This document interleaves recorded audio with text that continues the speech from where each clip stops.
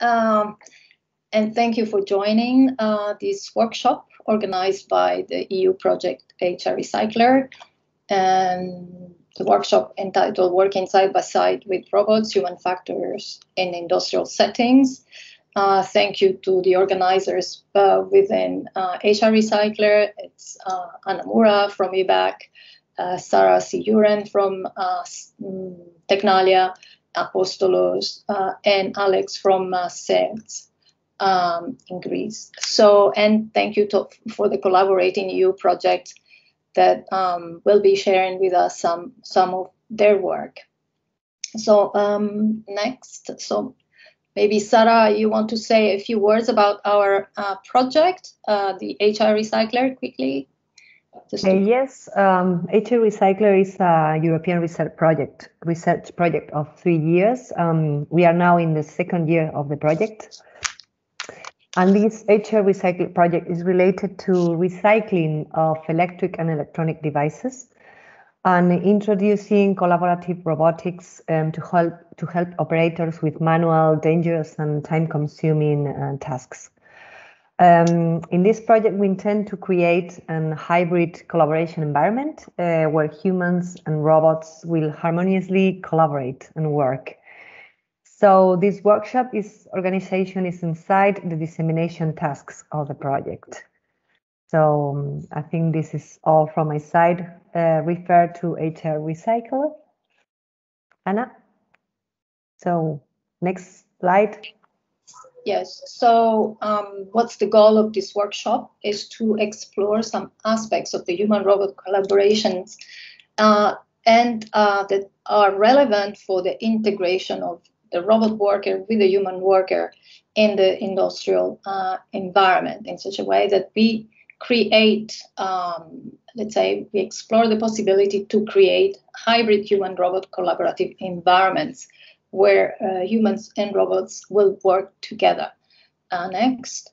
So to do that, uh, so we explore these human factors in human-robot collaboration that include trust and adaptability to autonomous machines uh, in order to pursue collaborative tasks. All the human factors have to do with uh, accountability. Uh, and in that sense, we will explore the legal rights and the obligations uh, that we have towards the humans and the machines, as well as with these human factors have to do with economic, with the economic and the social uh, impact. Next slide, and we will do that uh, in three sessions uh, during the workshop, exploring each of these uh, factors with different speakers and that have different expertise. And uh, just to um, uh, for the first session, we will look at how what are the needs uh, that we have to bring in uh, the human like uh, factors that we have to bring in in order to improve uh, trust and acceptance. As well as in session two, we will look at actually mm, the mutual adaptation, in particular in settings. And in session three, we will look closely with experts uh, in ethics and um, the, the regulations, also the EU level, for instance, in different uh, different fields of H and human robot collaboration. So, but without hesitation, uh, yeah, go next. We go to then uh, the first. Um, so we we start right on time. Uh, we, we we go to the first speaker, uh, um, of the first session, Trust and Acceptance in, a, in, in Human-Robot Collaboration. Paul Verschure uh, is an ICREA professor um, and uh, also researcher at uh, the Institute of Bioengineering of Catalonia uh, in Barcelona. And uh, his interests are mainly, um, mainly among many, uh, theory of mind and brain, um, neuroscience, artificial intelligence, and robotics. He will talk to us today um, on uh, empathy in humanoid robots. And so, with that, I will open the floor uh, to you, Paul. You have 20 minutes. People can post questions in the chat uh, and post questions uh, after the talk. There will be five, 10 minutes uh, questions, uh, time for questions, and there will be a discussion at the end of the of the presentation. So uh, take it away, Paul, and uh, thank you, everybody.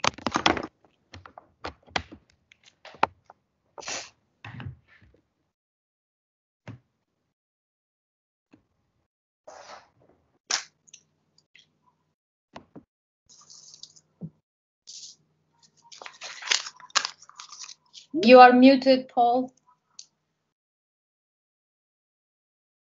Paul, you're muted. Hello, hello. Yeah. Okay.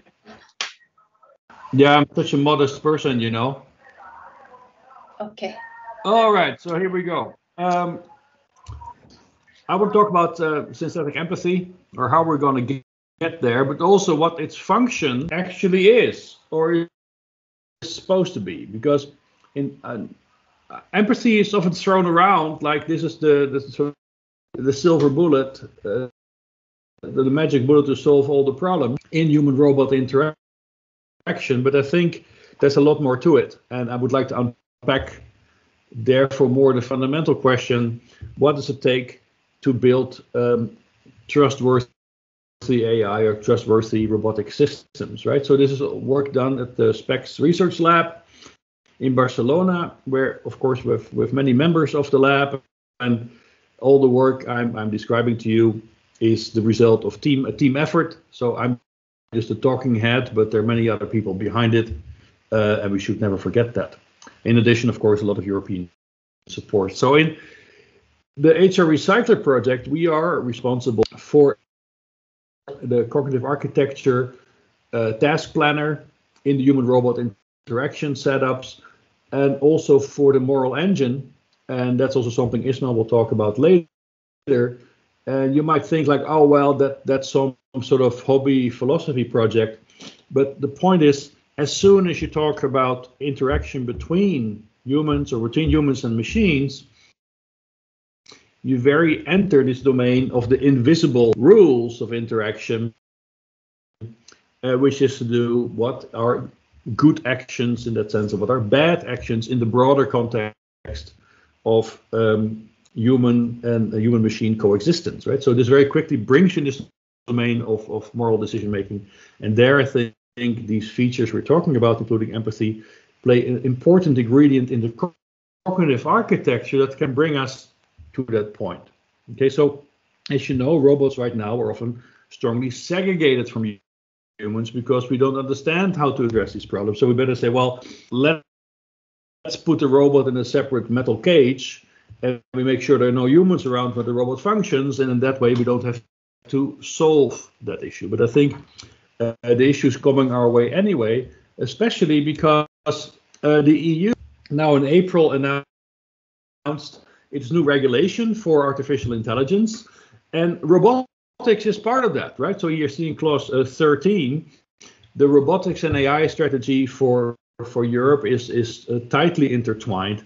And of course, being active in this field, that should not surprise us because a lot of control techniques, uh, machine vision techniques, learning techniques are right now part of this blooming field of, of artificial intelligence, right? Um, so we have to deal with this whether we like it or not. So robotics is changing in that sense, which I think is also a very um, welcome challenge because it's it, that means robots also go beyond and robotics will go beyond only the mechatronics of the system, but also really more about the complex uh, control aspects of dealing with properties of, if you want, invisible worlds. Um, so uh, th there are a number of very concrete recommendations, um, which will also impose requirements on, on companies and, and others who produce these kinds of AI techniques, including robot techniques, that will make them trustworthy. And very central elements in that is transparency uh, and human oversight, right? So that humans can understand what robots do or what AI systems do and why they do it. So this, uh, of course, we are all aware this this is a massive challenge for AI systems. They're very opaque. That's also why they're compared to voodoo uh, voodoo technology because in the end we don't really explain, cannot really explain for most of these techniques why they do what they do. But now Europe laid down the gauntlet, and we have to actually deal with this issue of transparency and trustworthiness. And there, I think the challenge of empathy plays a very uh, central role. And as you know, there are also now very concrete guidelines uh, specified by the, the high level uh, group on uh, trustworthy AI uh, on how this can be achieved. But if you look at their seven main characteristics, right? So I left out privacy and data governance. If you really want to solve this, right?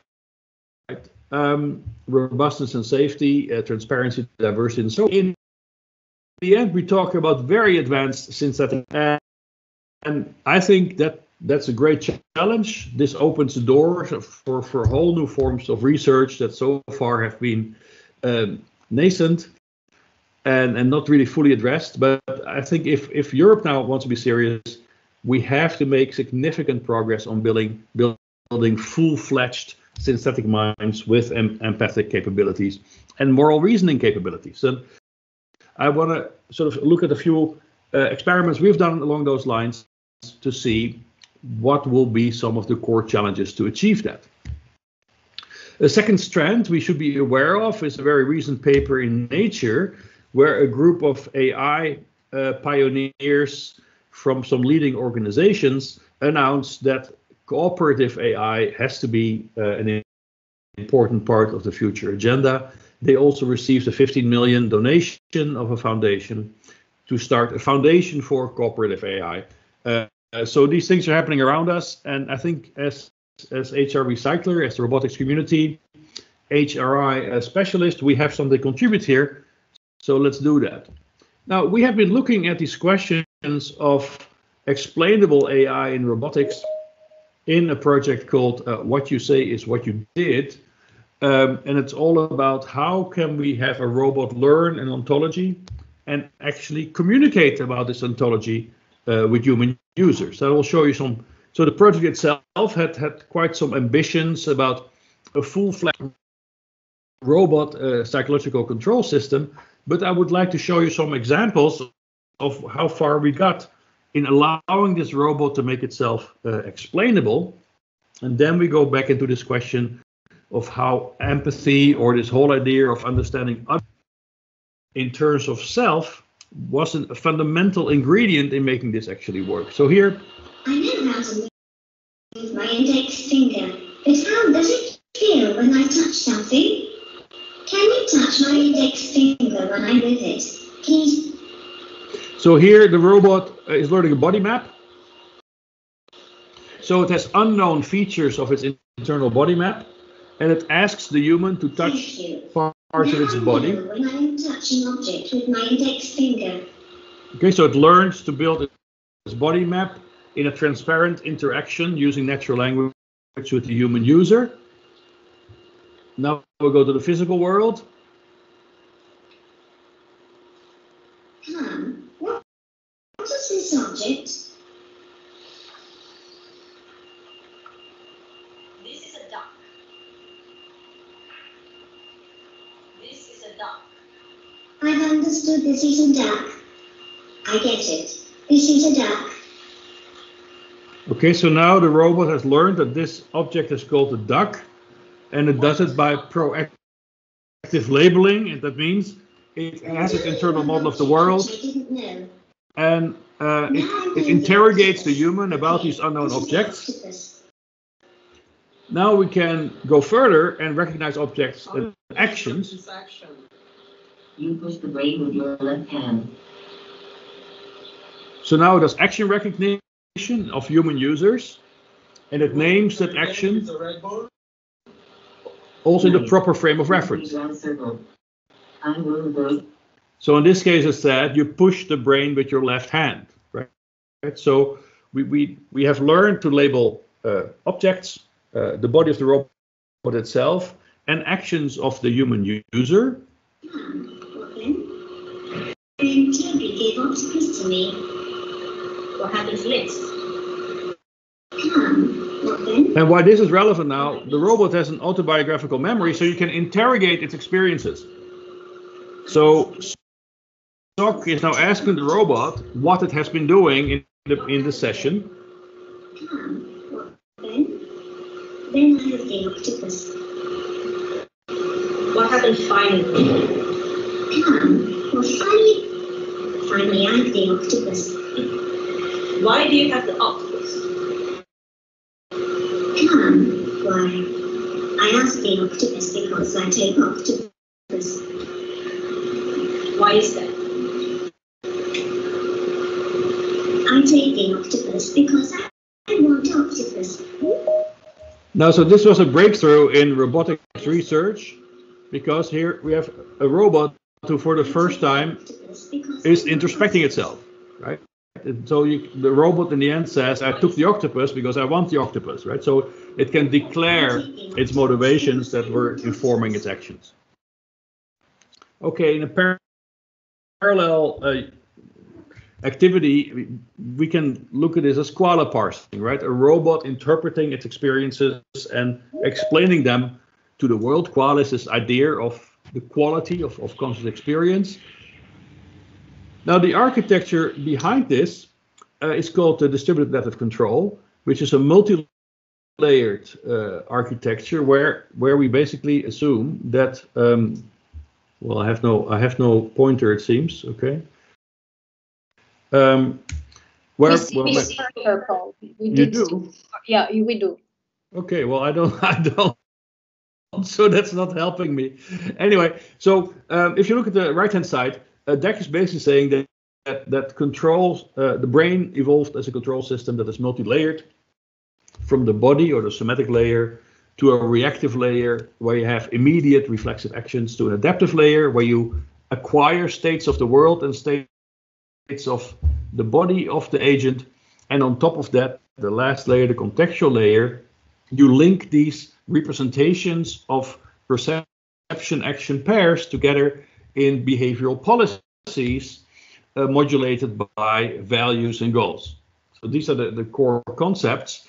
But wh- wh- what's in, and then to translate it into language, uh, Peter Dominey and his and his colleagues, then at INSERM in, in Lyon, and now he's in Montpellier, um, used um, recurrent neural networks or reservoir computing to transform the internal representations the robot had acquired at this contextual layer into linguistic expressions, so natural language, but linked here in green, fundamental in getting this organized. You can imagine if the robot engages with the world and it builds up a database in some sense of stuff that's happening, objects, events, relations, agents, and so on, that that in itself is not immediately structured for humans to understand.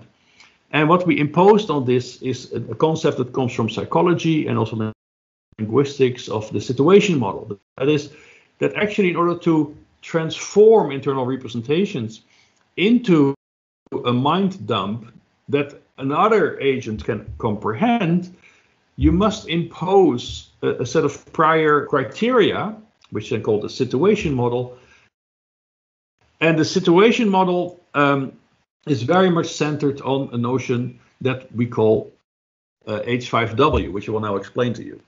So, um, okay, DAC is a multi-layered uh, architecture, uh, as I explained to you, that we have mapping to the brain. But what is central here, one second, I close the door. I'm surrounded by very needy uh, appliances, so uh, apologies for that. Um, so what, what DAC is basically saying is these different layers of control are not necessarily fully dominant continuously. Right? If I have a very primitive uh, reactive form of, of robust, rigid control, like a reflex, like in a di- direct feedback control system, I can deploy that, for instance, in emergency situations, but I will not be that flexible, right? So if I have to deal with more complex tasks, I have to engage with more memory dependent systems. And this might be slow, it takes time, I have to learn, and so on. So we see these control architectures as always solving a trade off boundary between different kinds of requirements, like in this case, complexity of task versus the speed and robustness of the response. So an architecture is a dynamic controller and not in that sense fixed in its in its features. And I think this will be also a critical role if we want to understand how to get to this explainable AI driven by an other like self empathic interpretation. So, footnote we have shown how extent AI approaches can be captured in this nomenclature, uh, such as, for instance, AlphaGo and, and other models. Uh, and the same holds for dominant models of cognitive architectures in robotics. So it's a very, it's also a framework in which we can look at how people deal with integration problems, this domain. But let's now get back to how we produced this situation model so that you can actually have an explainable uh, AI robot solution. And at the heart of that was this concept of H5W that we elaborated with Stéphane Lallée, where we basically say maybe an ontology has a fixed structure. And this fixed structure is strongly related to how every agent is dealing with the task. And that fixed structure is essentially captured on the one hand in what we call H4W. That is, there's a why, there's a motivation, there's a goal. There's a what, there are objects in the world that pertain to this, and these objects are positioned in the world, and also the agent itself is localized, and then there's time, there's a when. But on top of that, there is also, this has an evolutionary argument that, that I will not elaborate on too much, there's the who.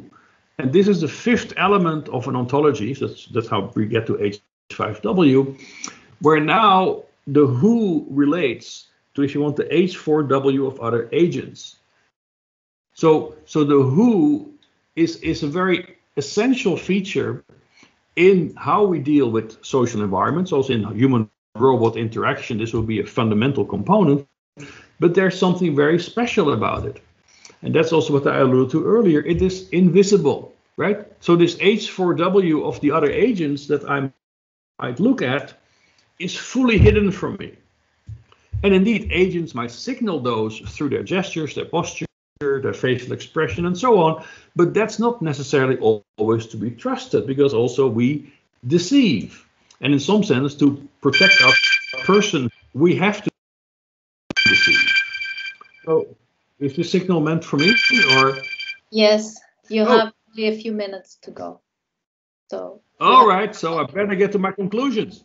Um, so the other like self is an entry point in that invis- invisible world of the other agent. And to enter that world, we need on the one hand a, a, system for empathy, which is okay, uh, what is the value, the emotional value of the state of the other, which requires a theory of mind. You must have a, a model you can only interpret the state of the other along the lines of a model, which is linked to your emotional system.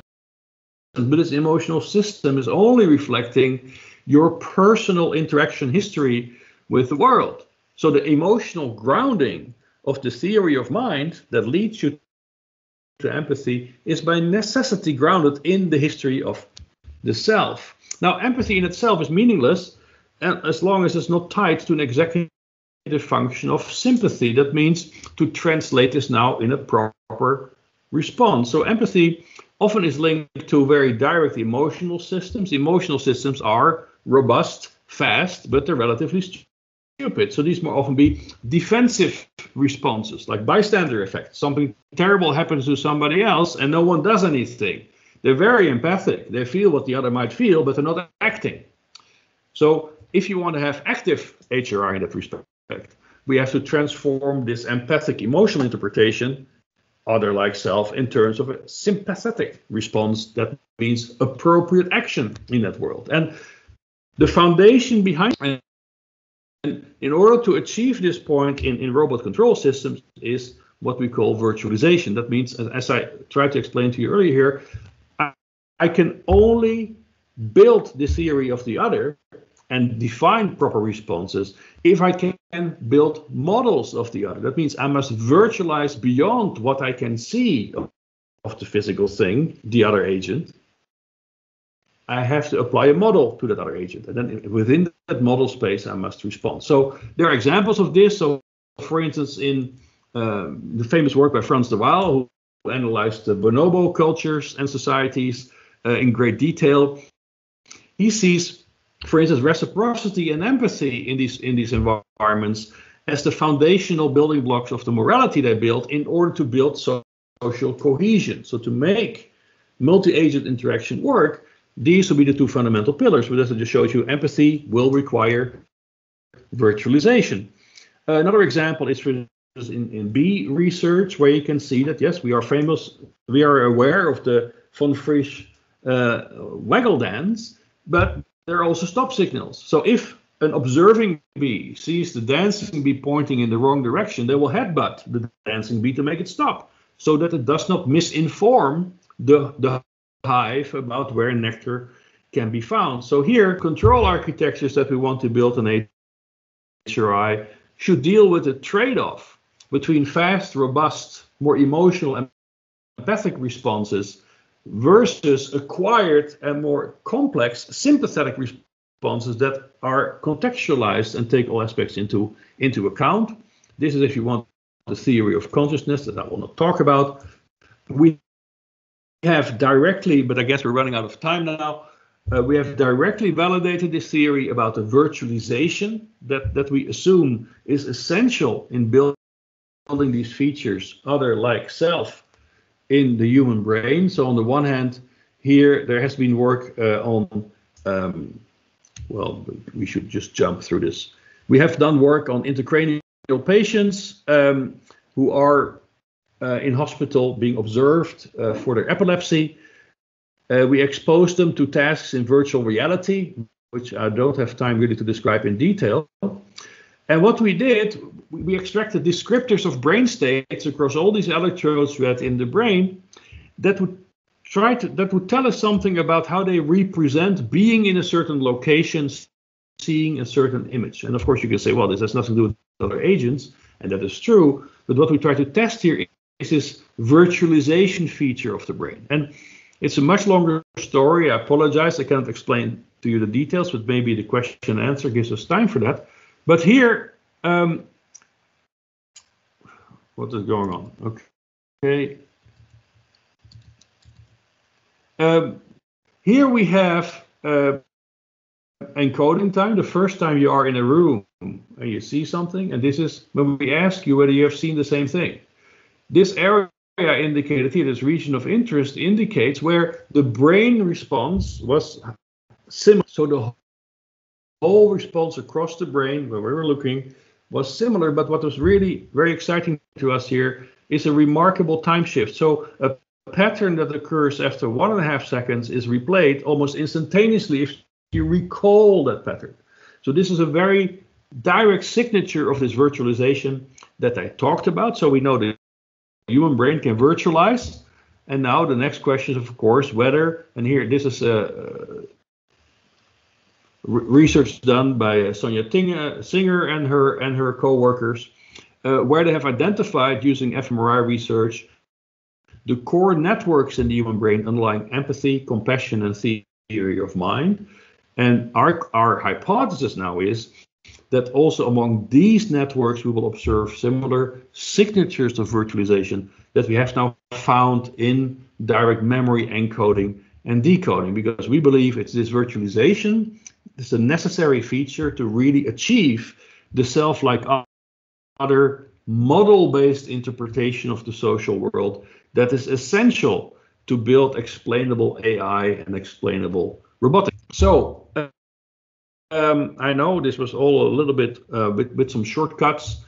Um, the key thing is Europe is giving us a challenge here. It says that AI and AI applied to robotics must be explainable. Well, that's that's easily more easily said than done.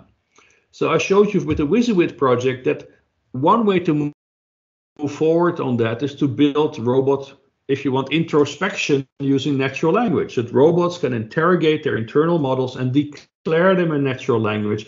But for that, you need a translation, right? You cannot just dump these internal vectors straight on, on, on the computer screen. Underlying that, we to, to do this successfully, and that's what we show, demonstrated in this WYSIWYD project, you need ontology. And we believe that this, this H5W uh, notion gives you a framework, a situation model to express that ontology. At the harder it stands this other like self notion, right? So to realize this, we need virtualization. So the fundamental assumption was virtualization, and we showed that the human brain at least is doing that. And if we want to achieve moral machines and explainable AI, then this should be the core ingredient virtualization memory that can allow both robots to, to prospect the future, do mental time travel, but also to understand their social environment and respond properly according to the norms and morality the world in which we live. Thank you very much. Okay. Thank you, uh, Paul, for this very transversal uh, presentation on empathy. Um, uh, we we kind of running out of time. I don't know if anyone has uh, questions, um, direct questions now. Otherwise, we switch to um, the next uh, presentation, Ismael. Uh, but actually, uh, just a quick question to you. Maybe we can keep up with the discussion later on. How would you, in, in a few words, translate this virtualization process in a robot that is not a humanoid robot, but is an industrial robot that is embodied differently? How do you, in, in, you know, infer uh, empathy in a in an industrial robot? Maybe only a few words. It doesn't matter, Anna, for, from my perspective, it really doesn't matter. It's, it's all about memory systems. And the memory systems are, are linked to the task environment. And robots, as but as soon as a robot is interacting with humans, it needs a, an- a human compatible interface. And that's why humanoid robots are often a, a system of choice for HRI research and also for industrial robots, we have to think about that interfacing. But the question of virtualization will be identical. The more you deal with the invisible of the other, the Mhm. more you must be able to virtualize and to also structure that virtualization ar- around an ontological framework that I claim could be H5W. Okay, thank you. Then uh, we keep up with uh, with these questions later on uh, later today. So then we switch to uh, Ismael uh, Freire uh, from uh, IBEC.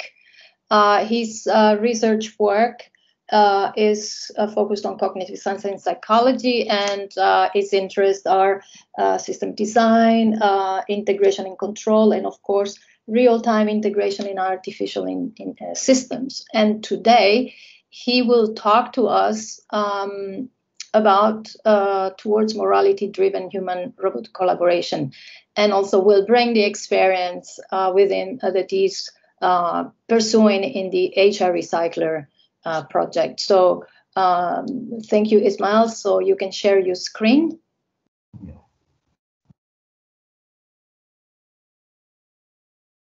Mhm. Do you see my screen now? Perfect. Perfect. So thanks, Sana. Um, indeed, today I'm gonna present uh, the work of morally driven human robot collaboration and the specific case of the HR Recycler project. So the first thing we have to deal with is with the notion of morality. Morality, we are all familiar with, with it since it's one of the key features of our human life. No, I mean the assume that morality refers to some behavior that can be right or wrong according to our own system of values, right? But being such a general aspect of our lives, also morality has been studied in a wide range of academic fields, and therefore also there are uh, many definitions or approaches to the study of morality. Mainly, uh, we're going to deal with two key definitions that also cut across most of the discipline. On one side, we have the normative or prescriptive account of morality, in which morality would be a code of conduct that, uh, given certain conditions, will be put forward by all rational persons. This has a prescriptive value of what people should do to consider a moral action to be such, and is mainly used in the philosophy and, and other human sciences in the traditional sense of studying and building notions of uh, morality, uh, frameworks of moral thought. And on the, on the other side, a more empirical and descriptive notion uh, understands morality as a code of conduct that has been put forward by a society or a group and is accepted by an individual for, for their behavior.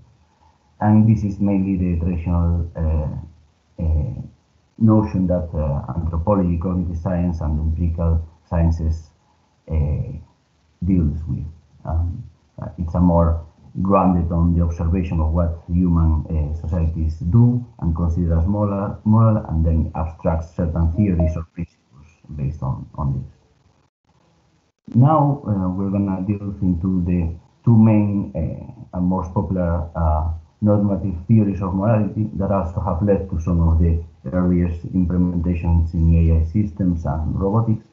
That is basically the utilitarianism and deontological schools of, uh, of morality.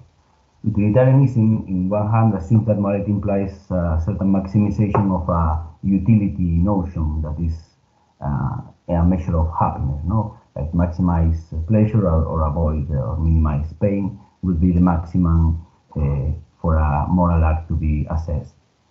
And uh, on the other hand, deontology, uh, famously put forward by Kant, uh, evaluates the actions themselves as being morally justified or not, regardless of the consequences. So it focuses more whether an action would be um, immoral or not, no matter the context, such as stealing will always be bad or killing will always be bad.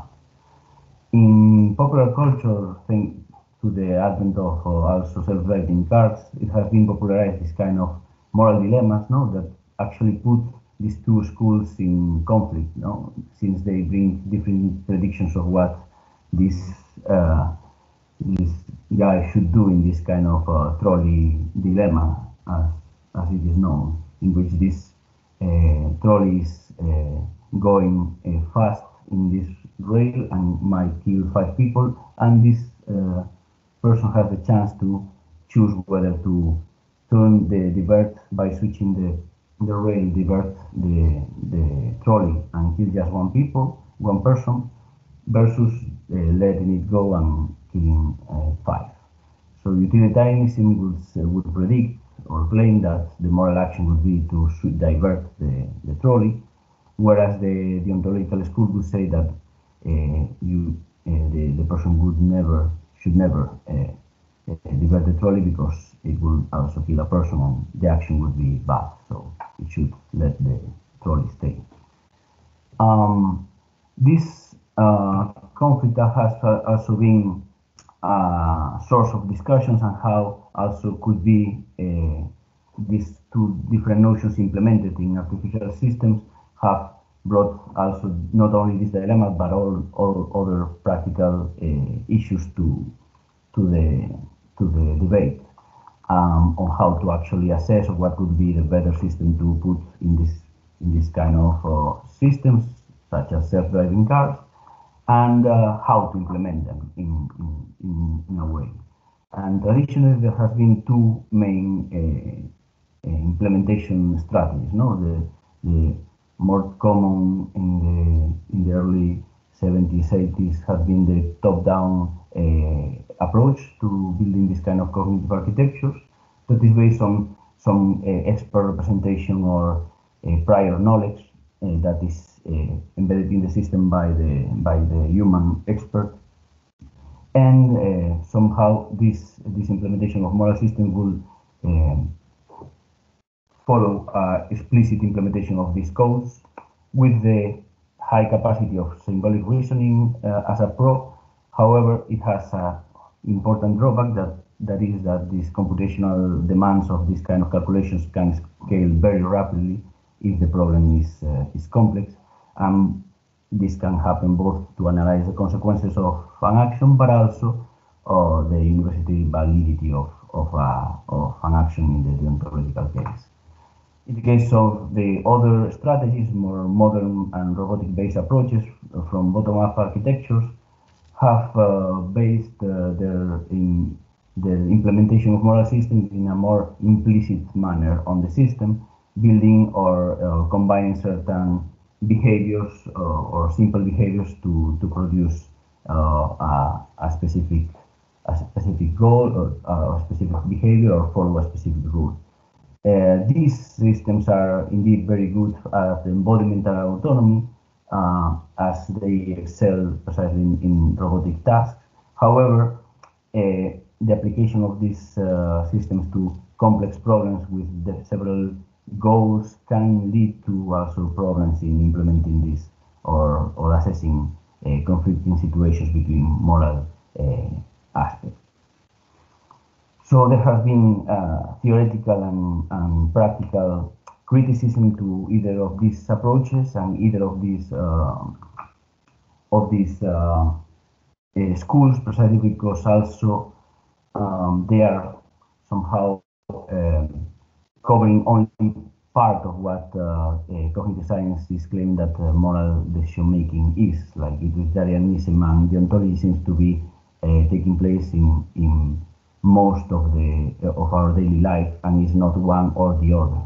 So another uh, approach that is now uh, being put forward is grounding the moral decision making of these systems in a more empirical uh, grounds of the study of morality, such as the psychological, anthropological uh, sciences. In this case, theories such moral foundations or morality as cooperation uh, work as uh, building hypotheses about how the function of morality in the evolution of our species, uh, uh, what, what was the function of morality in the evolution of our species. So it takes a more pragmatic uh, assessment of, of what morality is by studying the cultures across the globe and trying to infer certain general principles and certain variations.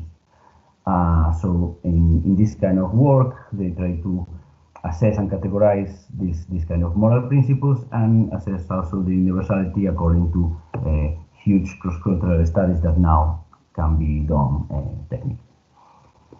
Um, regarding these principles uh, and the definition of morality based on this latest uh, research, morality is now being considered from the psychology and the anthropological sciences in as a collection of both biological and cultural solutions to the problems of cooperation and conflict that is recurring in human social life. And the, the key here and the, the element to highlight is how in, in these theories cooperation plays a central role or is actually the main function in which these uh, theories of morality and morality as such uh, is uh, grounded as a precise solution to the different cooperation problems that society has. Also, uh, these uh, moral principles and these theories have been predicting uh, several moral principles that have been validated and found across many cultures across the globe, not only Western industrialized rich societies.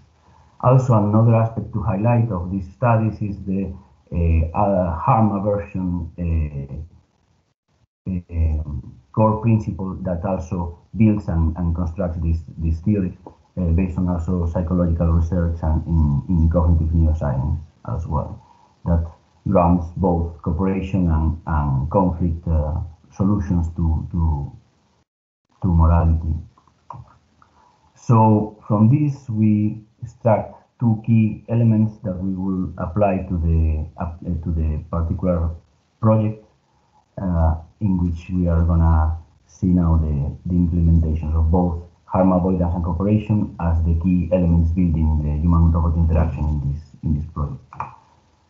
For those of you that do not know the HR Recycler project, it's a European project that aims at developing a sophisticated uh, human-robot environment that implements a hybrid recycling plant to deal with uh, with products, electronic equipment, and uh, a core feature of this project is the close uh, collaboration between human and robot, uh, both in form range but also in general in the, in the whole system.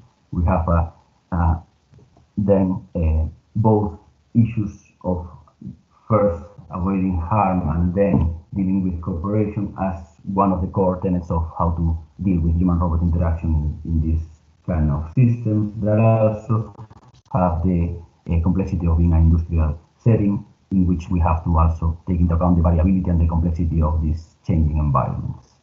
So In the context of this project, we implement these two moral principles in two uh, key uh, ways. The first one is implicitly following a value-centered, uh, human-centered design approach to human-robot interaction and AI that is also being put, put forward, as Paul has presented, by the European Union and explicitly by the creation of a moral engine that is a control module that will deal with the dynamic uh, regulation of such principles.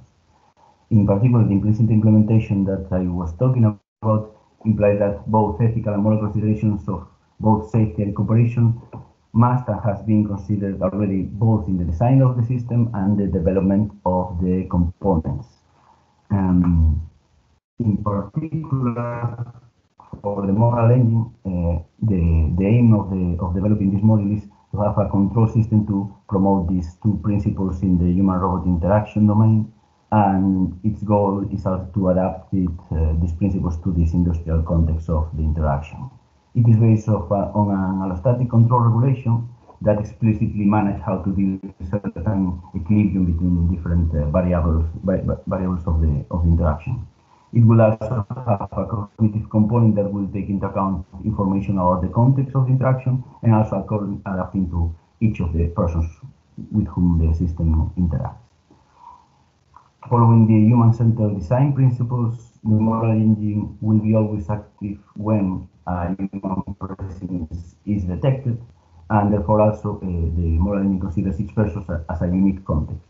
And based on this personalized information obtained by the worker model, that is an internal model of each of the workers that uh, the system has, the engine is able to adapt or modify the robot behavior to the worker's preferences and also to the uh, being aware and regulate the, the current risks of the task that the worker is performing or the robot is performing.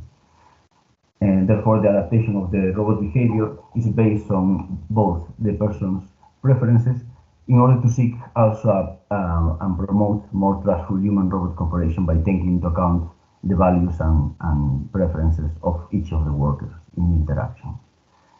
Also, of course, the given the industrial setting, uh, additional layer of safety is built on the human on the moral engine to uh, to provide a, a, second level of uh, safety to the for the human given the varying context of the of the of the tasks.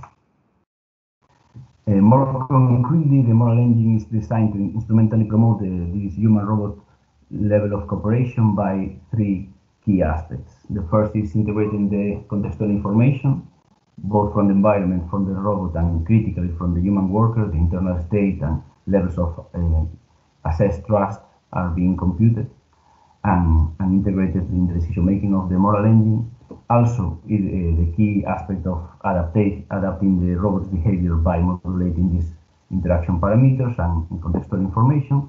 And as said before, also the harm avoidance prevention of uh, taking of avoiding any any risk or uh, dangerous action to uh, to take place. So in a schematic way, the moral engine has uh, three levels of, uh, of control. In the in the higher level, it integrates information both from the worker model, the interaction of the worker, it also integrates information about the context of which action and process is uh, being uh, performed by the by the worker and the robot in the workbench, and also information about the robot whether it's will, uh, within a, uh, some tool that might extend the reach and, and put in risk the, the worker. The model integrates this into a single context that it uses to adapt the control of uh, certain aspects of the human-robot interaction, such as how fast the the, the robot moves and how uh, and the speed of the of the of the of the translation of the robot through the space. In particular, the key element of the moral engine is the allostatic control model that is at the center of the of the moral engine. That is based on the uh, dynamic change of desired values of the lower level homeostatic systems as we see before. Central to this uh, model, based on biological models of uh, allostasis, is uh, the notion of allostasis, that is the process of achieving certain stability of the internal system through the dynamic change of variables. And homeostasis, that is the low level control of certain variables through maintaining a constant desired value of such elements. The integration of these two levels takes place in the final uh, version of the moral engine that integrates the set information from the taking uh, uh, information such as the trust and internal preference of the of the worker, adapting the the desired values uh, in the in the allostatic control layer of the homeostatic subsystem, therefore achieving a dynamic change of the of the of the security and speed of the according to both the risk of the situation and the uh, worker with in, with whom the robot is interacting with. Finalize, uh, we can see a small uh, highlighting one of the tests of the moral engine in the integration with other cognitive uh, elements of the system. In this case, the goal of, this uh, demo was to achieve or to show how the human-robot interaction could be dynamically regulated by the worker preferences and internal state. So here there is a system uh, by our partner Sadako that detects the distance and monitors distance between the worker and the robot. We have also the internal model of the worker in the, in the worker model database that is updated with values of uh, assessed or expected trust of the system. And uh, here we see how all is integrated in a in an industrial setting and developing in Sadako premises. Here we see how the system is detecting the worker by the ID in the helmet and how the both the robotic arm and the tablet uh, uh, showing the output of the system uh, are presented in the scenario. So here we will see how the worker approaches the the robot in a well, a bit exaggerated way to highlight the the the distances between both robot and, and human. And here we see how upon detection the worker model loads the information of trust and uh, on the on the robots and the preferred interaction parameter and the moral engine regulates the speed and also the uh, maximum distance at which the uh, robot should stop given the signal from the moral engine. So the moral engine is receiving through ROS in real time the information of both distance and the preferred uh, security levels that the, the worker might uh, have. In this case, this worker had a very low trust on the system, therefore the system was stopping the robot uh, at a much greater distance.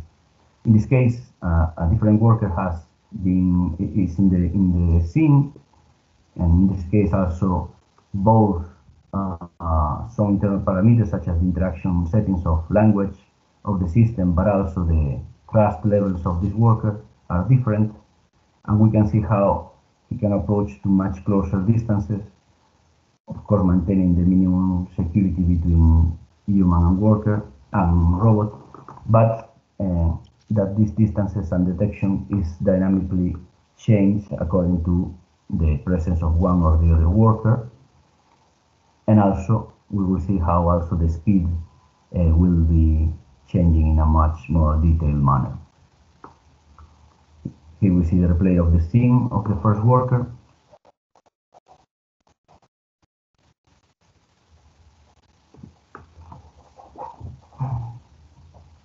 And now the second worker approaches to the robot that is behaving much faster and to a much closer distance. This is just one of the features that the moral engine can perform. Also, we see the example of speed regulation based on trust. And according to the, this is just the summary, a worker with a high level of trust on the on the roads will perform faster and will uh, maintain a standard security distance, whereas a, a worker that will uh, that is detected with low level of trust, the moral engine will extend the security to make it make him comfortable and also perform much lower uh, dynamics.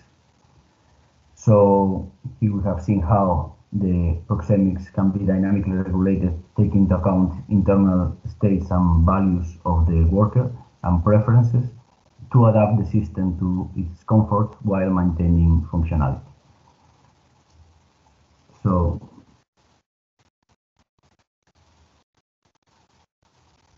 This Thank is all from my side.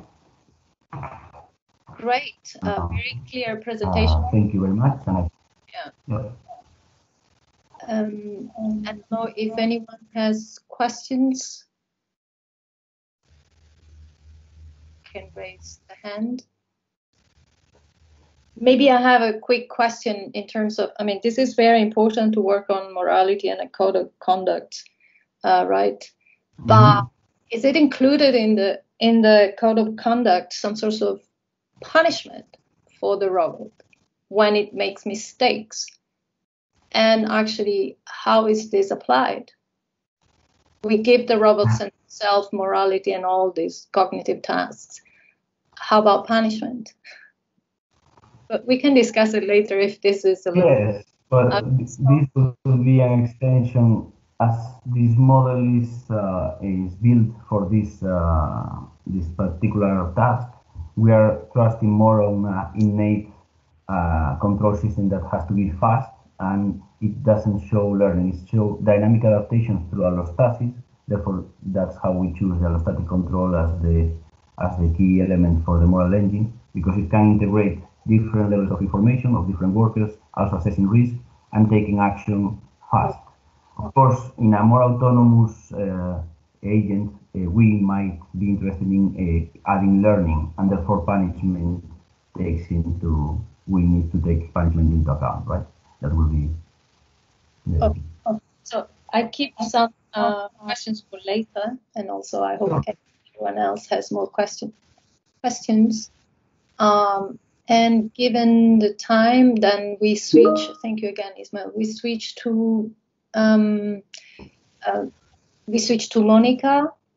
Um, so you want to put your slides up? So, um, okay, can you see them? um, we we see you. Mm, Yes, perfect. Okay, thank So you. me quickly introduce you. Uh, Monica Malvezzi is associate professor um, at the University of Siena in beautiful Toscana. And uh, her uh, research interests are on robotics, mechanical engineering, and the mechanics of machines, but also learning and education, right? Because uh, in fact, your title is, as we can read, accessible education resources for teaching and learning robotics. So thank you very much for for being here and uh, Thank you. Okay. So going. Okay. So thank you for inviting me to this uh, really interesting workshop. Um, a few words about uh, myself and uh, my research. I work uh, uh, at the University of Siena, the Department of Information Engineering and Mathematics.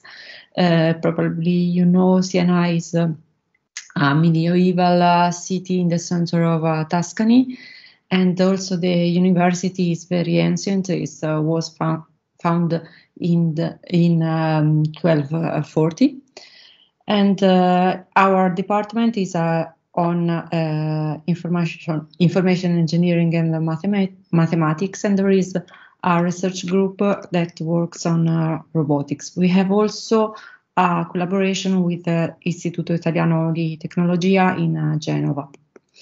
So our research group is called uh, Human Centered Robotics Group of uh, our departments, and our main interests in uh, in terms of uh, research and uh, engineering development is about haptics, grasping and manipulation, and hu- human-robot integration.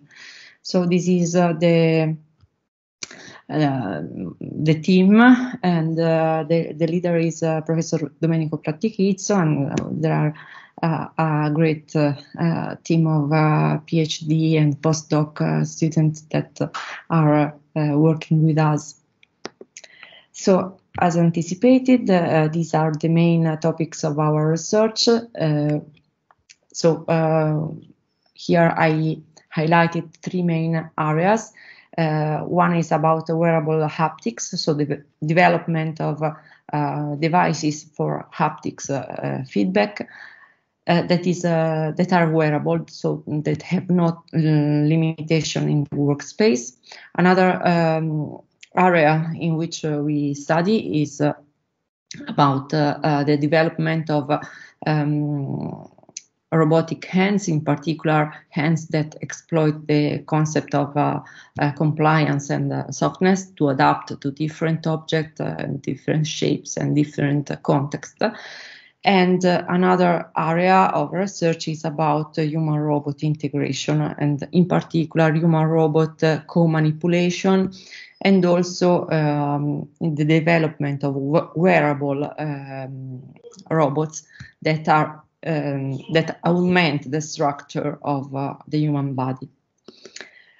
In this presentation, I will uh, focus on, on, something that is, uh, let's say, less technical. Um, it's about the InBots project. Um, InBots is a CSA project that uh, is going to end uh, in actually at the end of June. Sorry, I forgot the the, um, the exact date due to the the um, new dates. And uh, what's InBots about? InBots is uh, the acronym of Inclusive Robotics for a Better Society. So we are facing, we are living in a, an era in which robots are becoming uh, common also outside factories and uh, rigid uh, production cells, and they are going to to be uh, common in a, in our every everyday life in, in, in, several aspects of our everyday life. And uh, this is a, a change that challenges us uh, as engineering from the technical point of view, but uh, there is also there are also new um, challenges and new opportunities. Uh, there is of course uh, um, a new set of dangers and responsibilities that have to be managed, and also um, the, this quick uh, evolution of robots make uh, difficult to understand the state from for the society, the state of uh, technology status, and uh, this could lead, for example, to uh, negative perception or overestimated uh, expectations. So the role of uh, InBots project is to bring together experts from different fields and to promote uh, a debate, a discussion about robotics from uh, different uh, technical and non-technical points of view. And uh, in InBots project, we uh, focus in particular on interactive robot, robots that uh, is a um, wide, wide term to indicate robots that interact with in close proximity with humans in a, let's say, non-structured environment. So this is uh, the um, a picture showing the consortium. There are 25 partners from uh, several parts of uh, Europe. Uh, there are partners partners from the technical uh, technical partners, but also business and uh, um, non-technical partners and uh, end users.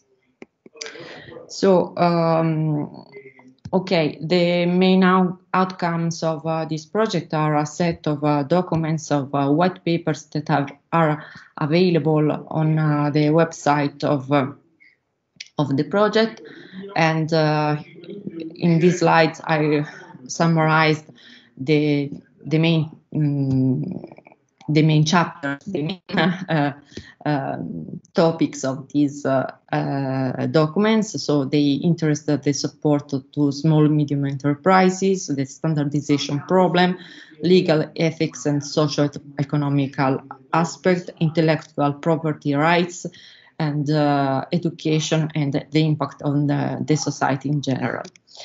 So if you want to um, to download to to look at uh, this document you can download them from the website of the document. They are freely available. Uh, we have also during the project realized a set of uh, documentary videos. So um, they are available again in from the website or uh, from our uh, project uh, YouTube channel. There is a, a, a final um, documentary that will be soon ready. And uh, about our, our, contribution for, for uh, the project, we focus in particular on uh, the education.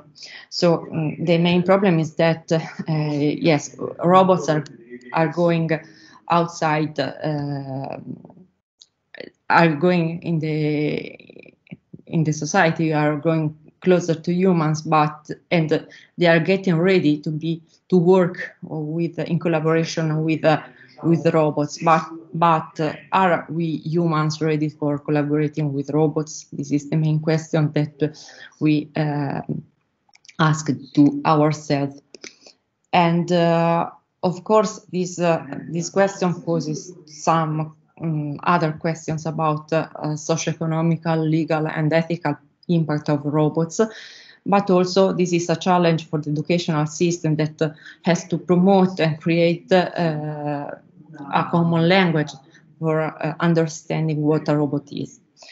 And uh, yeah, um, in this new perspective, we, we can say that robotics is uh, an interdisciplinary subject that, that uh, involves um, traditionally separated uh, domains. So there is the domain, the, the one that we, as engineering, uh, as engineer uh, started studying that is uh, the engineering domain. So the, so the technical part of the developing robots so mechanics electronics computer science control and so on. But uh, nowadays there is also other aspects there are also other aspects. So, so the for example the human physical domain uh, as you as i shown in the big at the beginning of uh, the presentation we are developing uh, robots that uh, are worn by the human body. So exoskeleton external limbs and so on. So this close interaction requires a knowledge that uh, a physical uh, of the physical domain of humans, so physiology, ergonomics, anatomy, and so on. But there is also a non-physical domain, human domain, so psychology, ethics, economic, and uh, legal aspect that have to be considered. And uh, yeah, each of these um, of these uh, um, matters have uh, their own language, their their own um, concept. And uh, when we talk about robotics, uh, we, we, need to uh, find a, a, common base of, uh, of language, of concept to, to foster this, this development. And so the, the availability of accessible learning resources for different types of uh, backgrounds and different targets is uh, therefore very important. So uh, how we organized our work, uh, this is basically the uh, the index of our uh, final white paper, and this also summarizes our um, how we faced this problem. So we focus. There is an important chapter regarding the the role of robots in, in the school, in the school education that is becoming more and more important in this uh, year, um, in these years, uh, in particular because robots are something, yeah, they are um, an object of, uh, uh of learning. So um, robotics is something that you need to know also at school. But uh, robots are also a tool for learning because they are um, a nice tool that allows students to put in practice some uh, theo theoretical knowledge, things for, for example, to mathematics and uh, physics concept. So there is a, an important part of uh, our study dealing with this part of the education. Uh, outside the school, um, yeah, there is the academia world in which uh, the, the robotics course are becoming uh, more uh, important, not only in the engineering um, sector.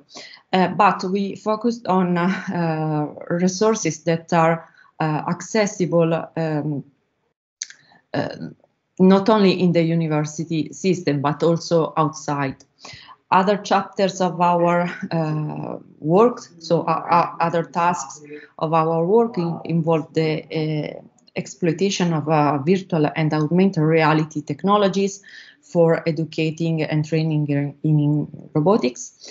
And uh, in especially in the last part of uh, the project, we also uh, tried to analy analyze the impact of uh, the recent pandemic uh, on uh, the robotic education that was very um, important.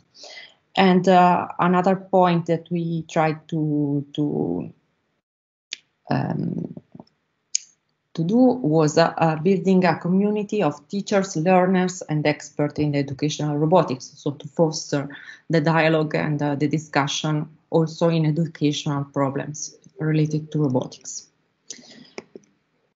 Um, okay. Mm. So in this uh, uh, I would like to focus a little bit on the um, accessible resources for uh, learning robotics out, outside the school. And in this uh, context, we uh, first uh, reviewed uh, some a set of available resources that we can find, for example, on the internet. And the idea yeah, we realized that uh, there is a, a, huge amount of uh, learning material and uh, what we did was uh, trying to provide a, sort of map for orienting uh, a learner to find the, the teaching, the learning material um, suitable for uh, the, the necessary uh, target and the, the necessary uh, background. And as a first step, we divided, so we, we analyzed the available resources and uh, we divided them in a set of uh, typologies. So uh, resources, resources requiring a sequential access, so in which they are the uh, accessible version of a traditional course, so in which uh, there are a set of lectures that have to be uh, followed in a, certain order to be fully understood. There are also a set of resources that have, are available in a uh, arbitrary uh, order, so the, the learner can choose the resource uh, without a, a certain uh, order. And also there are a set of uh, resources for hands-on learning. So in this table, we we try to make a sort of um, general classification of these resources. In our uh, study, in particular, we focus on uh, massive online, uh, massive open online courses, like the acronym MOOC, uh, lecture series, YouTube, YouTube thematic channels, but also we analyzed other type of resources. So, for example, podcasts, the talks, and as I anticipated, tools for programming and building robots. So uh, the, one of the main uh, chapters was about uh, massive online courses. And the, this is a, a, resource that is continuously increasing in time, but especially in the last year, it had a, a quick um, increase in terms of uh, uh, subscriber due to the pandemic impact. So I I'm a bit late, so I can uh, skip some slides. So in our um, review, we um, we classified uh, the available uh, massive online courses, and we divided according to the target uh, to the target subject. We classified them also in terms of uh, content and organization, accessibility and cost, contents, potential users, and required knowledge. Um, another type of uh, resource that we analyzed are the uh, lecture series that are available on uh, YouTube. And uh, yes, there are courses that are quite general, but uh, there are also courses more specific for some uh, specific topics. And uh, here I present, uh, yeah, we summarized the, the main uh, topics of MOOCs and lecture series. So mm, nowadays, the, the, the, majority of courses are, about robotic foundations, but uh, there are also other subjects, and in particular, there are uh, also non-technical uh, courses that are becoming uh, common uh, what we learned from uh, this uh, review is also how to design learning resource.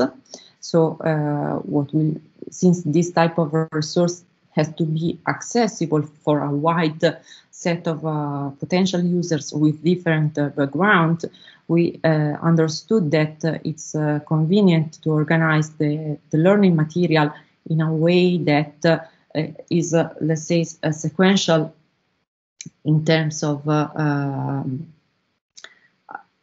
of uh, required background. So we call this uh, level as surfing for the basic knowledge, snorkeling for the intermediate uh, knowledge level. For example, in our robotics course is uh, the mathematical foundation of robotic, let's say, dynamics or kinematics and therefore there is a, a more detailed scuba diving level in which we yeah we go in the very details of uh, of the study okay yeah we also classified resources uh, accessible in an arbitrary order so for example youtube um, thematic uh, channels and uh, podcasts, and so on. These are resources that does not that, that do not need uh, a, a, a um, predefined order to be uh, followed.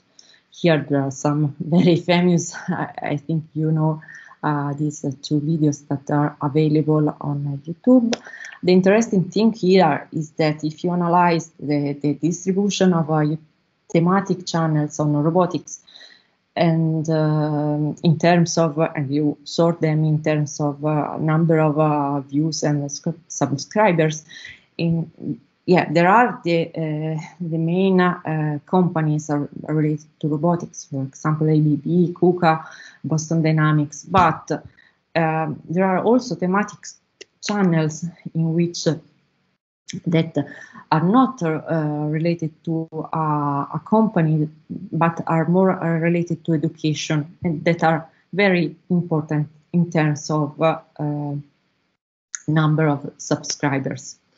Okay, um, the final part of the document that you can uh, download is reg regards the resources for on hands-on learning, so software, uh, tools for building a robot, a tool for learning how to program robots, and so on.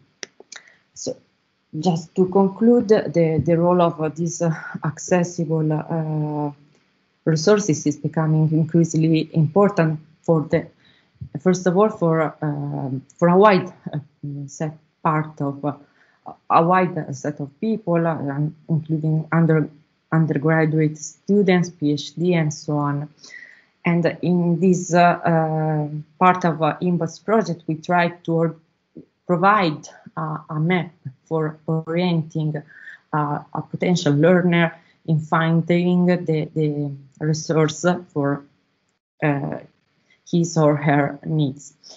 And um, in this analysis, we, we not only uh, organized the available resources, but we also learned how to design this type of resources. And uh, yeah, we did this uh, from the beginning of the project uh, because we, we, thought that uh, this was something useful for um, spreading the, the knowledge about robotics, also for uh, people that have not a specific background but need to interact with robots.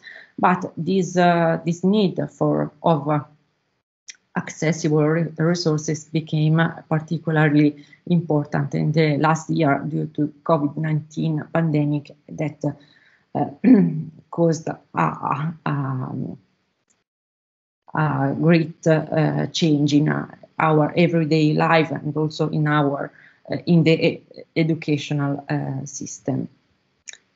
So this ends my uh, presentation. Thank you very much.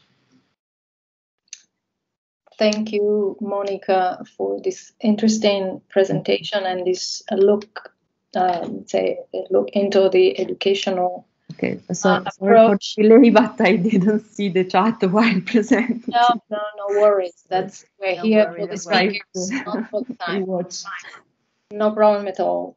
Uh, so, do we have any questions for Monica, or uh, we leave it for later, perhaps?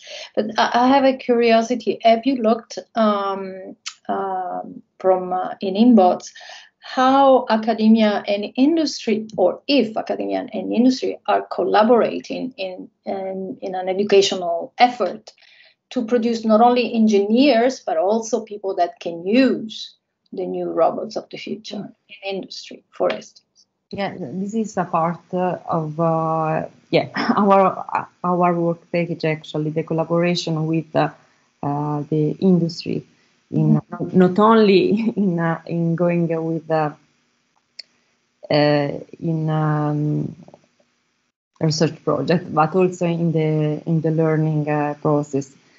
And uh, yeah, we, we also uh, collaborated with some companies that were in, involved in in INBOTS in realizing a specific training material and also an I think uh, an interesting uh, part is involving the companies in providing, for example, workshop, no, um, webinars and um, lectures inside our courses for presenting uh, the, the, how the real robots uh, work in, in companies.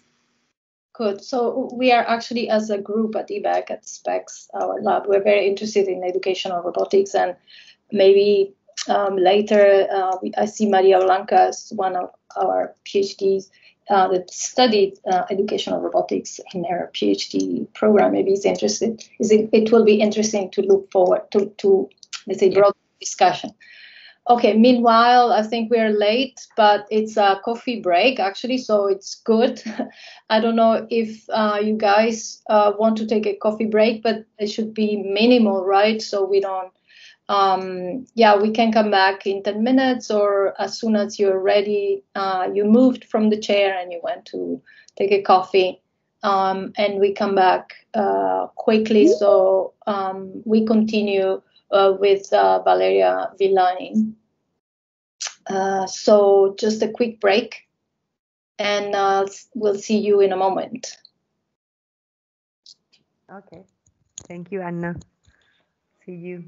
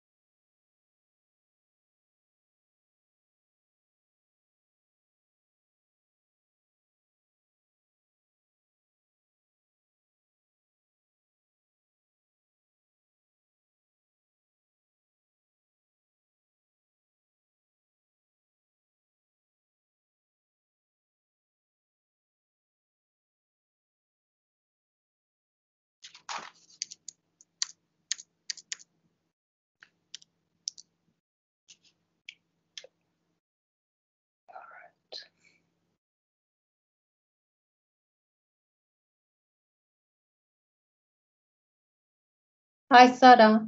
Are you there?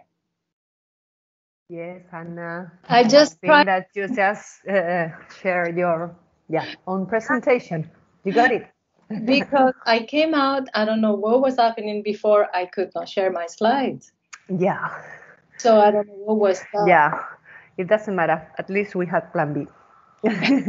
No, that's perfect. But so now it's it's okay. yeah. Uh, we can start actually with this. Uh, we should Valeria, yeah, Valeria should be over there, no? So, yes. So, Valeria, you here? Okay, great. So, if you can now share uh, your slides, I will stop presenting and you can present. Okay.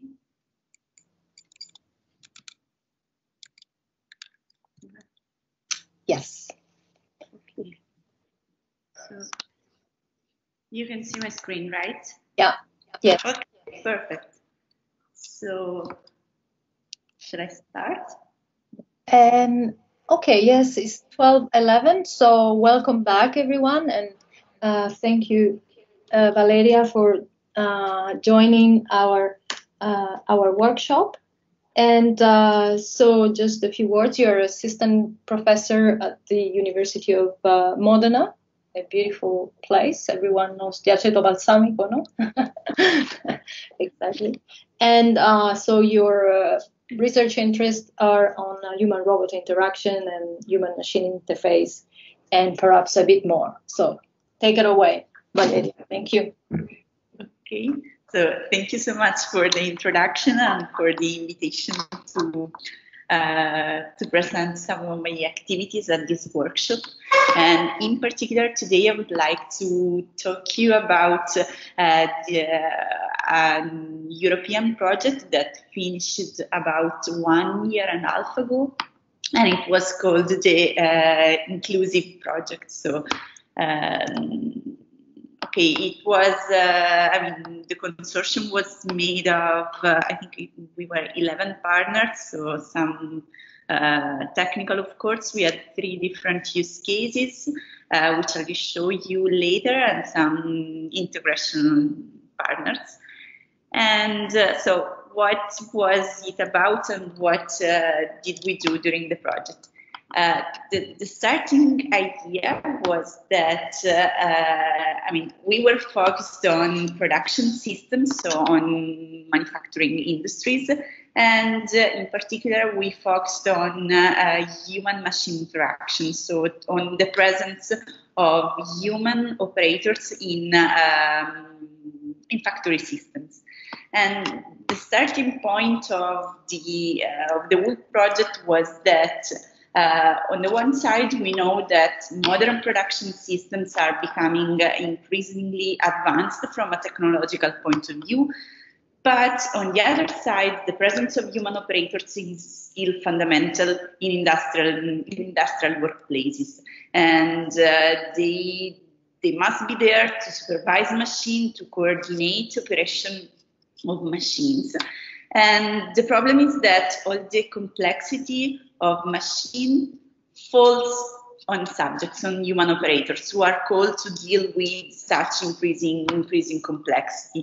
And uh, the, the, the, tools um, that human operators use to interact with the machines and to manage uh, and organize the, the activities of machines are, of course, human machine interfaces. And so the result of uh, technological progress becomes that human machine interfaces are getting always more, more and more complex. And uh, they are typical, typically, uh, they have a sort of static presentation of information, static in the sense that such interfaces are typically equal, are typically the same for any type of user and do not take into account the fact that users and specifically human operators have different skills, different roles, but also different capabilities and, and backgrounds. And so the, the idea was that of uh, trying to reverse the standard paradigm according which uh, human operators have to adapt to the machine and so to revert it and try to design some machines that adapt to, to the human to the human operator. So uh, the idea was that of introducing some adaptive automation systems where adaptation is not from a technological point of view, so production related, but rather uh, it is related to human capa capabilities. So it's a sort of anthropocentric adaptive uh, adaptive automation.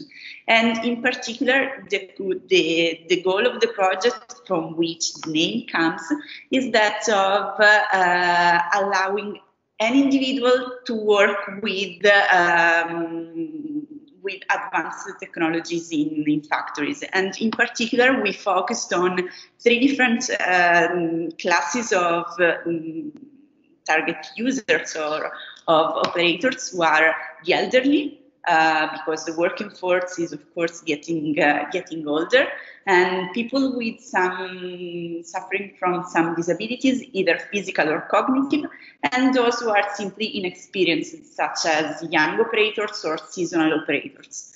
And so the, the final the final goal was that of developing an, ecosystem of innovation uh, that consisted in introducing human factor analysis in industrial use cases, in industrial shop, shop floors. So this was our uh, ultimate goal. To achieve this goal, uh, we devised a, a system which um, I'll call in the remaining of the presentation as inclusive system uh, that was that consisted in three main modules, uh, which were then merged all together in the, in the final system. And uh, these, these, modules were uh, measure, adapt, and teach. So in particular, we started, we said that, okay, if we want that machines or human-machine interfaces in the, in the specific adapt to the human operator, we need to know something about the human operator. And in particular, we need to uh, know to, to measure some, uh, his or her capabilities in order to understand uh, what is the what is the starting point and what is the current state of the um, of the human operator. Once we know this information, then we can try to find, we, we sought for uh, ways to adapt the interaction of the system. So basically to adapt the behavior of the machine and the, uh, the, the, behavior of the human machine interface to the measured capabilities of the, of the human. And uh, additionally,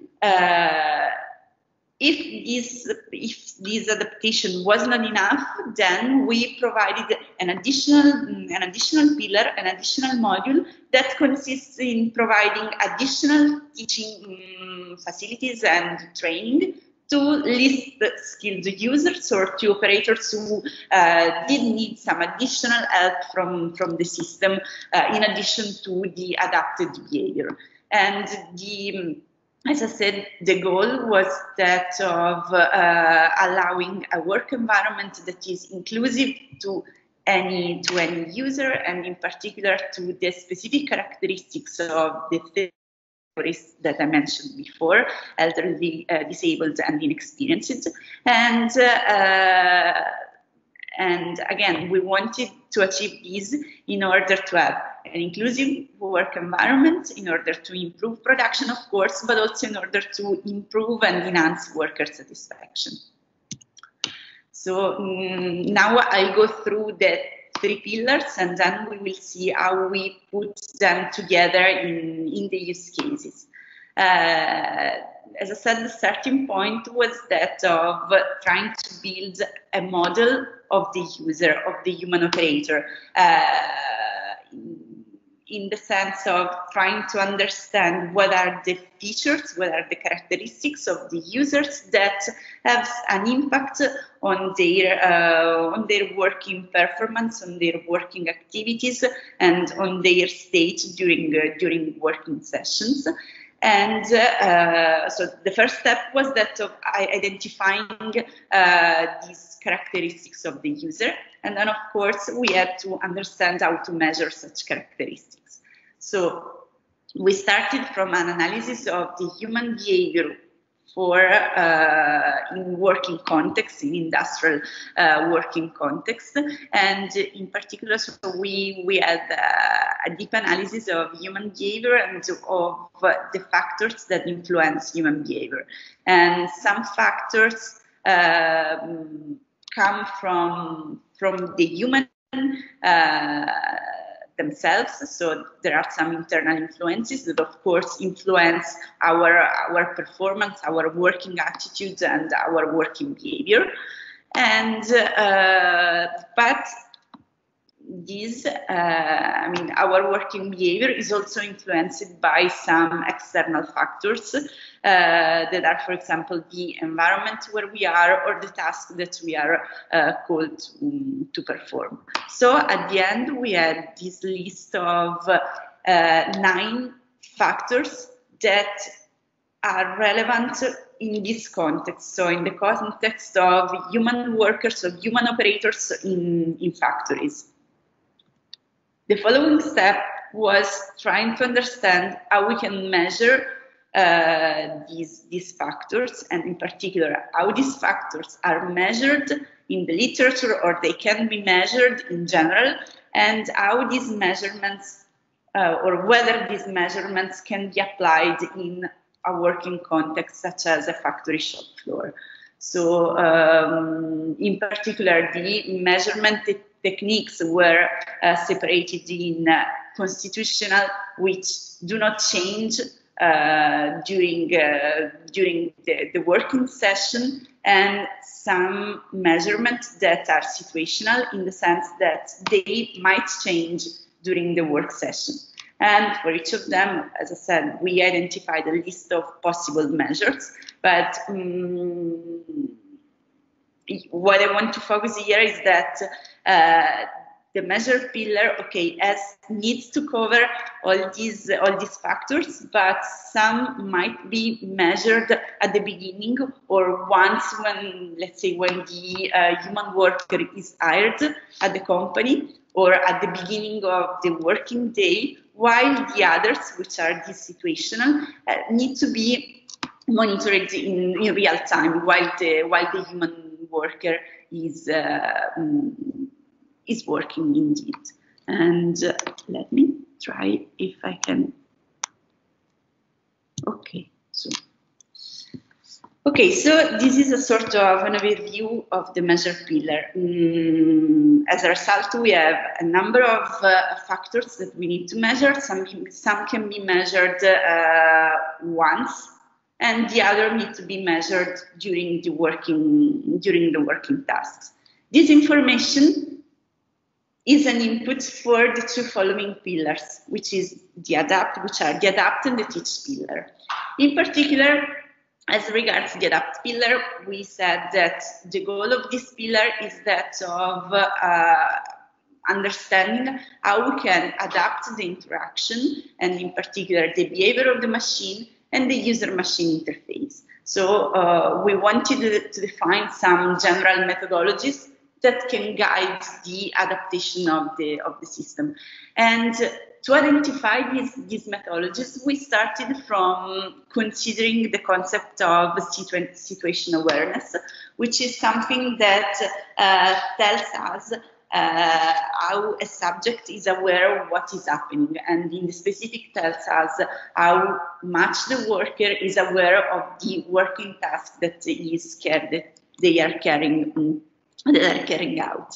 And in particular, in order to achieve complete situation awareness and let's say to dominate the working, uh, the working scenario, the, the working task, um, it is important to understand this, these three questions. So situation awareness goes through three different levels, which, is, which refer to first understanding what is happening, and uh, so basically uh, um, perceiving what is happening and then uh, understand why that is happening and then the next step is trying to um, predict what will happen next. So for example if i click this button on the user interface what will happen next? So something like that. So the goal for um, a complete understanding of an interaction task and a working task in this uh, in this context is that of achieving complete situation awareness with respect to the to the context. Okay, if we want, so the, the adapt pillar as the goal of the adapt pillar is to uh, or to favor situation awareness of the operator. And uh, in order, so we identified three different levels of the adapt pillar that correspond to these three different levels of the situation awareness concept. In particular, in order to favor the understanding of what is happening, we need to focus on uh, how the information is presented on the user interface and in particular provide some adaptation at the perception point of view or at the perception level. And moving upper in this triangle of situation awareness in order to favor, to facilitate the comprehension of what is, of why it is happening, and then we need to work on some sort of cognition adaptation. So we need to adapt what information is presented by the machine, by the system to the user in order to uh, allow the user to um, understand the context of what is happening. And um, finally, also regarding the uh, perception adaptation or the understanding of what is happening it is important also to uh, adapt or to yeah to adapt way interaction interaction is enabled and basically the interaction modalities and the interaction means to, means to communicate with uh, with the machine so from the three levels of situation awareness, uh, we devised that the adapt, the adapt pillar should be organized according three different levels. Let's say you should answer these three different questions related to perception capabilities, cognition capabilities. Okay, is it already five minutes left? Okay, and interaction capabilities. And uh, uh, as a result, we derived some general adaptation rules that take into account uh, universal, general principle designs for human machine interaction coming from universal design or general design. And as regards the teach pillar, it consists in two different parts, which are an initial offline training, basically uh, in virtual reality, so that the user uh, can get uh, familiar with the working environment and an online, uh, online training providing support while the user is, is working. So, for example, with the use of a portable devices or a portable device or augmented reality. Okay, so uh, as I said, the measure pillar goes in input to the adapt and teach, and we have an offline measurement and teaching part and online adaptation, measurement, adaptation, and teaching. Uh, we had three different use cases uh, for uh, with different with three different industrial contexts that are representative of the vulnerable users we are targeting and of uh, European industrial scenario. And probably I would skip this, this video. It was about the demo case, so it's nice, but let's skip to the well, results. Okay, so just some, some quick results from the use cases. In particular, I focused on one of the use cases, which was related to uh, a company producing woodworking machines, which are typically used by uh, elderly artisans uh, running their own small company. So people uh, who are uh, very expert in woodworking, but not that expert, might be not that not that expert in the use of technology and in the use of advanced technological systems. And the interesting um, feature of this use case was that we could compare the proposed system, our proposed system, with their customary um, user interface that they typically use, I mean, from, from this company, which was one of the partners of the project. And uh, we could measure the, uh, the benefits from the inclusive system, both in a quantitative manner, so assessing the increase in productivity in terms of time and uh, the number of errors made by operators. But also we can we had some subjective measurement of uh, overall satisfaction of, of the system, which was quite high. Uh, we performed a, a, usability analysis comparing the, the, the, proposed, I mean, the inclusive system with the customary system, and the perception of the user was uh, definitely better uh, with the inclusive system rather than, than the other one. So they really found it helpful and, uh, and useful and also user satisfaction was rated quite quite well. So they were quite satisfied with the system although although of course we, we implemented a prototype in, in the company but nevertheless tests were carried out with real artisans and we are real end users. So just to, to conclude i hope i did not um, go too, too fast and uh, i did not put too many information but um, I mean the, uh, the, the goal of the of our work and of the entire project was that uh,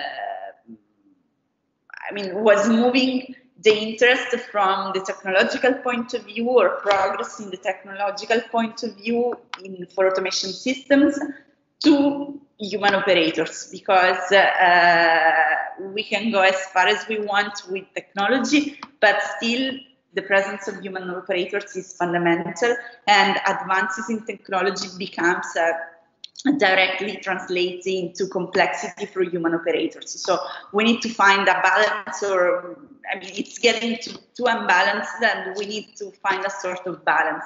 And our proposed idea was that of um, designing automation system around the user and in particular uh, designing a system that adapts its behavior around the user. And to do this, of course, we need a fundamental part is that of me measuring human capabilities in order to have a complete understanding of the user. And based on this, we can provide tailored adaptation of the system. So not some sort of general profiles for uh, worker function, uh, in the hierarchy of human resources, but uh, tailored adaptation, tailored on the subject, on the worker, and on the current state. And we had nevertheless some additional teaching and support for least skilled user. Um, the results I presented were related about one use case, uh, but uh, we had different, as I said, tests with other use cases, and they were as well positive, and satisfaction from the user was uh, was quite quite good. So um, in particular, in terms of worker satisfaction, which which was which is I mean which is um, usually considered as a second thought or something that okay if it comes good otherwise no matter as long as production and productivity are, are high but mm, I mean, this uh, worker satisfaction still influences the production and productivity. And just one last concluding remark. I mean, the, our with our project, uh, with our project and with other projects that were funded in the same um, Horizon 2020 call, uh, about factories of the future, we funded a cluster because, of course, we had in common many activities and many ideas. And the main result of this cluster was that a white paper was produced. It's about human-centered um, factories, and it might contain some interesting links for people who work on these topics who are interested in that. So it might be useful. Maybe not, maybe yes. Okay, so this concludes my presentation. Um, I hope I was in time and not fast. And yeah, don't worry about time. We're a little off, but uh, so, so I, I, a lot of uh, comments also with uh, what Paul and Ismael presented. Maybe there is some uh, interesting discussion there. Uh, yeah. Um, Hello, hi, you hear me? Sarah. Right. Yeah. Can you hear Okay. me? Hello. Yeah. This is Sarah from Tecnalia. I have a question for Valeria. Um, you have mentioned some uh, psychophysiological signals uh, to detect the state of the worker. Um, have you worked in your um, project in these um, signals and um, afterwards detection? Yes, we did. Yeah, you have mentioned EG and GC, GSR and Okay. Yeah, I mentioned a lot of them, and Yeah. uh, uh, here yeah, I mentioned a lot of them, and of course, I mean, not all them, not all of them were used in all the use cases because there were some specific constraints from the use cases.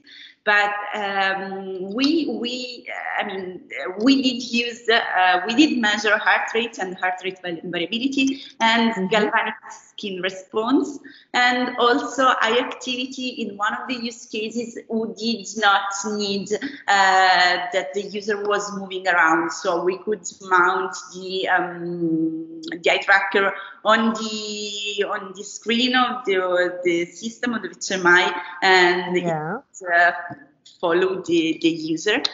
And so we, we, we tried to find um, uh, a compromise with the fact that these devices need to be, I mean, that these signals uh, need to be measured in, in a real scenario. yeah, And so, but nevertheless, we, we use some wearable technologies and uh, and we could detect these, these signals. And uh, in the case of, in the use case I presented, where we would have the comparison with the customary system, uh, we could measure these signals under the two conditions. And we experienced a, a reduction of uh, uh, cognitive effort of workers during the use of the inclusive system. yeah. You're right because we we work on this type of um, issues, you know, and uh, the problem here is that all these wearable devices are not uh, most of the times compatible with their protection equipment, you know, because some operators should should wear some um, equipment, so you you need to put more things over them, you know, and yeah, that normally it's a problem to measure this type of stuff. Yeah, it's a problem. You can you can reduce that problem, in my opinion, if you use some wearable device like like a smartwatch or something like that, which is Mhm. not so uncomfortable to wear, but Yeah. uh, the uh, backside does provide bad quality signals. Yeah, And- yeah, And That's there are correct. also some important ethical issues that any of these devices rise. So Yeah. we had the ethical committee and okay. okay, thanks a lot, Valeria, for your presentation. Are there any other questions? If not, uh, we continue with uh, uh, Foti Dimeas. Uh, Fotis, are you there? Yes, yes. Hi, can you hear me? Hi. Hello. So, May I ask uh, Valeria to send in the chat the link from the last slide? Uh, the, this document seems to be very interesting. yeah, of course. the white paper you mean? Yes, yes. please. Yes, Sure. please. Okay, can I share my screen? Yeah, you can and you must. Okay. So let me just, uh, maybe you want to introduce yourself uh, briefly? Yes. Oh, I hope you can see my screen. Yeah, Uh, we my name is uh, Fotis Yes, so I'm a researcher in the robotics lab of the Aristotle University of Thessaloniki in Greece. And our university is coordinating the Collaborate project on Horizon 2020. And in this presentation, I would like to talk to you about uh, some of the latest advances we have achieved in human-robot collaboration, particularly for assembly applications. So, uh, Collaborate is an ongoing project uh, that's funded by Horizon. Sorry. It's so about may I uh, ask developing. you- Sorry. May I ask you to go in the presentation mode? Right now we see your slides. If you can, Ah, okay, because I am, I see, let me.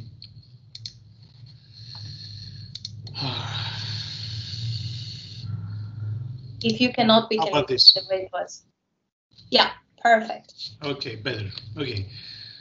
So our project is about uh, developing a human-robot, uh, genuine human-robot uh, collaboration, aiming to unlock the potential of uh, HRC in the industry.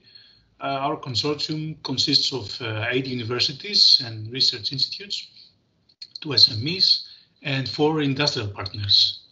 It is coordinated by Professor Zoe Doulgeri from uh, the Aristotle University of Thessaloniki in Greece. So our ambition is to make robots uh, learn how to cooperate with humans in order to jointly perform uh, assembly operations. To achieve this, we are developing uh, novel methodologies uh, for the robots to learn the, from human demonstration, to be adaptable, to be ergonomic, and to be safe. So we're building upon state-of-the-art methods to provide different modalities of human demonstration, to equip robotic manipulators and AGVs uh, with basic uh, collaboration skills, and to provide uh, efficient safety strategies for a fenceless approach with, within an industrial production cell. We're focusing here on four use cases, uh, trying to solve actual problems from the industry. These use cases uh, allow us to test our functionalities to a wide range of robots, from lightweight uh, mobile manipulators and collaborative robots uh, to heavy industrial manipulators. So in the next slides, I will provide some details for each one of these use cases, but I will focus on some of functionalities that we have recently developed in our research lab in Aristotle University. Starting with the use case for the assembly of a car starter, here we want a human to be able to demonstrate to the robot the placement of components. The way we have imagined this use case includes learning uh, from demonstration, either visually using cameras or kinesthetically. So the human will demonstrate the task and the robot will learn incrementally by adjusting online the allocation of roles with him. And here's how the setup currently looks like in uh, our, in our partners in Jožef Stefan Institute. The task for the robot is to pick the copper components from a tray on the right and place them in the fixture on the bench. The components that need to be assembled require very high accuracy, that is less than a millimeter. And even though there are cameras uh, that are necessary to find the pick and place coordinates, the accuracy of the cameras is not sufficient. So this is actually a pegging a hole problem with the additional complexity of the contact widths that are flexible, as you can see here. So the way we have uh, tried to solve this problem is by decoupling the teaching of the path, the trajectory, and the velocity profile separately. And this reduces the cognitive load of the human. So in the first stage, the human demonstrates the path without considering the, the velocity. So we, instead of demonstrating the assembly, we demonstrate the disassembly kinesthetically, and we encode it with uh, movement primitives. So having um, developed a methodology with the reversed movement primitives, in the second uh, stage, uh, the human can uh, demonstrate the velocity profile for the assembly operation. And without, and the robot is guided automatically to the path. Uh, so here is actually the execution. Let me start the video. So this is what the robot has learned and uh, it wants to execute. It picks the first component and wants to place it to the to the target. Even though we are in execution mode, the human can intervene. For example, let's say that we want to modify the trajectory or we want to modify the velocity. So this is very easy now with this uh, formulation of movement primitives. And let me speed up the video. If we want to move to the second uh, uh, ring, we can pick it. And let's say that we have a vision system that uh, sets the target, but it is a wrong target. So the robot collides. So we have come up with, a, let's say, with a phase stopping. Uh, it's not something new, but uh, using the forces, we can stop the execution of the robot. The robot can reverse back to the previous state of the trajectory, and then when we have the correct uh, target, we can accurately place the component there. So the second use case I would like to talk to you about uh, also comes from the automotive industry, and it is about collaborative handling of a large windshield for quality inspection and pre-assembly. Here we have developed methodologies based on movement primitives also, that the robot is able to estimate the intentions of the human and become proactive. Um, so unlike the previous use case, here we are dealing with a very heavy industrial robot with very high inertia. And this is how the setup looks like. So the object we want to manipulate is very big and it is manipulated using two special sensorized handles, uh, as you can see here. So in order to replicate this uh, robot in a lab, um, we use two smaller robots, but we're using the equivalent inertia. And we came up with a, a solution for variable admittance control for large inertia objects. And the reason we are using this, sorry, let me start this video. So if we use admittance control, the standard admittance with very small values to reduce the apparent inertia in damping, we might get to instability. So there are some minimum values that we have to respect, uh, which however have a negative impact on the performance. And this is how our, uh, so we have developed a variable damping strategy in order to manipulate a robot with high inertia, but adjusting the damping appropriately to be easy to manipulate, but also to be accurate at the positioning. And we, prepared then uh, a comparative study, and we see that we show that uh, there is less energy consumed by the by the human it is most more intuitive for the human and it's most uh, it's better uh, for the uh, for the placement. So the next use case is the assembly line of a tv uh, here the human and the robot uh, share the same workspace and need to perform parallel operations okay? So the robot uh, wants to place a circuit board on the tv frame and uh, the human fixes these boards into place with screws. But in addition, here we have some other logistic operations uh, with the AGVs bringing circuit boards and uh, removing empty trays. So our um, solution here uh, involves uh, either visual or kinesthetic demonstration. Uh, and in this video that we have prepared with our collaborators in uh, CERTH, you can see initially the teaching of the robot where a human using kinesthetic guidance to pick and place each board to the correct location. The first PCB is demonstrated and then the second one. So this is the task cycle uh, of the robot. Okay. So each segment here is encoded with uh, dynamic movement primitives. And we have developed methods that can now encode correctly both the translation and the, and the rotational coordinates. Using uh, depth sensors, uh, we can detect the scene and generalize this primitive so that the robot can move accurately to the new targets. We have also extended the DMP framework so that the robot can execute uh, the learned path towards a target that is moving. This is particularly useful here, not this video, but in the actual production line, where this TV will be on a moving conveyor.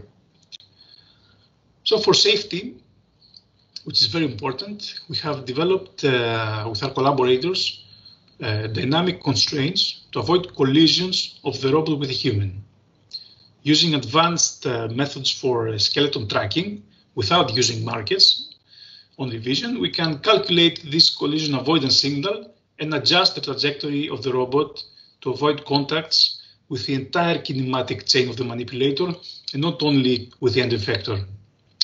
But because uh, using cameras, there can be occlusions, uh, there might be a problem here. So we have developed a second level of safety as a failover. And this failover keeps the robot compliant to external forces so the robot is safe during unexpected contacts. Our solution in this, the problem can be seen better in this video, where uh, the novelty here is that the robot can remain compliant in order to be safe during the execution, but at the same time, it can accurately follow the reference trajectory and reach the target with zero error. The final use case uh, comes from the aircraft manufacturing. Here, the human needs to work together with the robot to rivet an aircraft frame. And currently, this operation is performed uh, manually, and the, and the worker who is now from the robot side has to provide a lot of physical effort and gets into non-ergonomic uh, postures. So in this picture, you can see the solution we have proposed with a robot manipulator on top of a mobile, mobile base. And this robot needs to get into very narrow spaces in this uh, float while holding a specialized tool to counteract the forces for the riveting, uh, because from the other side there will be a human with a riveting gun. Uh, so the knowledge here that we want to include to the robot is quite limited, and this robot needs to uh, heavily depend on active perception. But I will not go into further details for this use case because currently it is under heavy development. And here I conclude my presentation. Uh, this was a very brief overview of the collaborative projects and some of the solutions uh, we have proposed in National University. So if you want to learn more about uh, our project and our solutions, you can visit our website, you can visit our social media, uh, or you can send me an email. Okay, so thank you for your attention.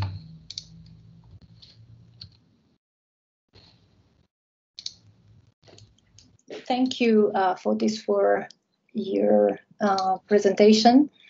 Um, I have a quick question. In, in the last use case that you showed, isn't it dangerous even to leave the robot in a compliant way because it, there is a weight in the arm, right? This can be kind of heavy and surprising for the worker that might have some um, unwanted uh, response, like pushing the robot away and breaking it. Yes, uh, in uh, all of the use cases, we are performing uh, let's say, a safety analysis in order to see possible dangers. So if you're talking about this use case, so there's here separation from uh, the from the robot and the human by a structure, and we also have uh, laser sensors that uh, prevent the motion of the robot when the human goes gets into the workspace, unlike the other use cases I showed you earlier where we have active collaboration and sharing of workspace. So uh, the, the methodology that makes the robot compliant can only be used uh, with a robot that uh, can be controlled using uh, by sending torque commands uh, because we want to be compliant to the entire arm and not only to the end effector and this can happen this cannot be happen if you have a force torque sensor just at the wrist. So here we are dealing with a different safety strategy and uh, we don't want the robot, we cannot make the robot, this particular robot compliant. So we need to deal with uh, more uh, standard strategies that can reduce the operation, the speed of the robot when the human uh, gets into close proximity. Mm -hmm. There is another question from Sarah. Yes, well, um, there are two questions from Mani Conradi. Uh, one is who built this demonstrator? I don't know which demonstrator Marie is referring to.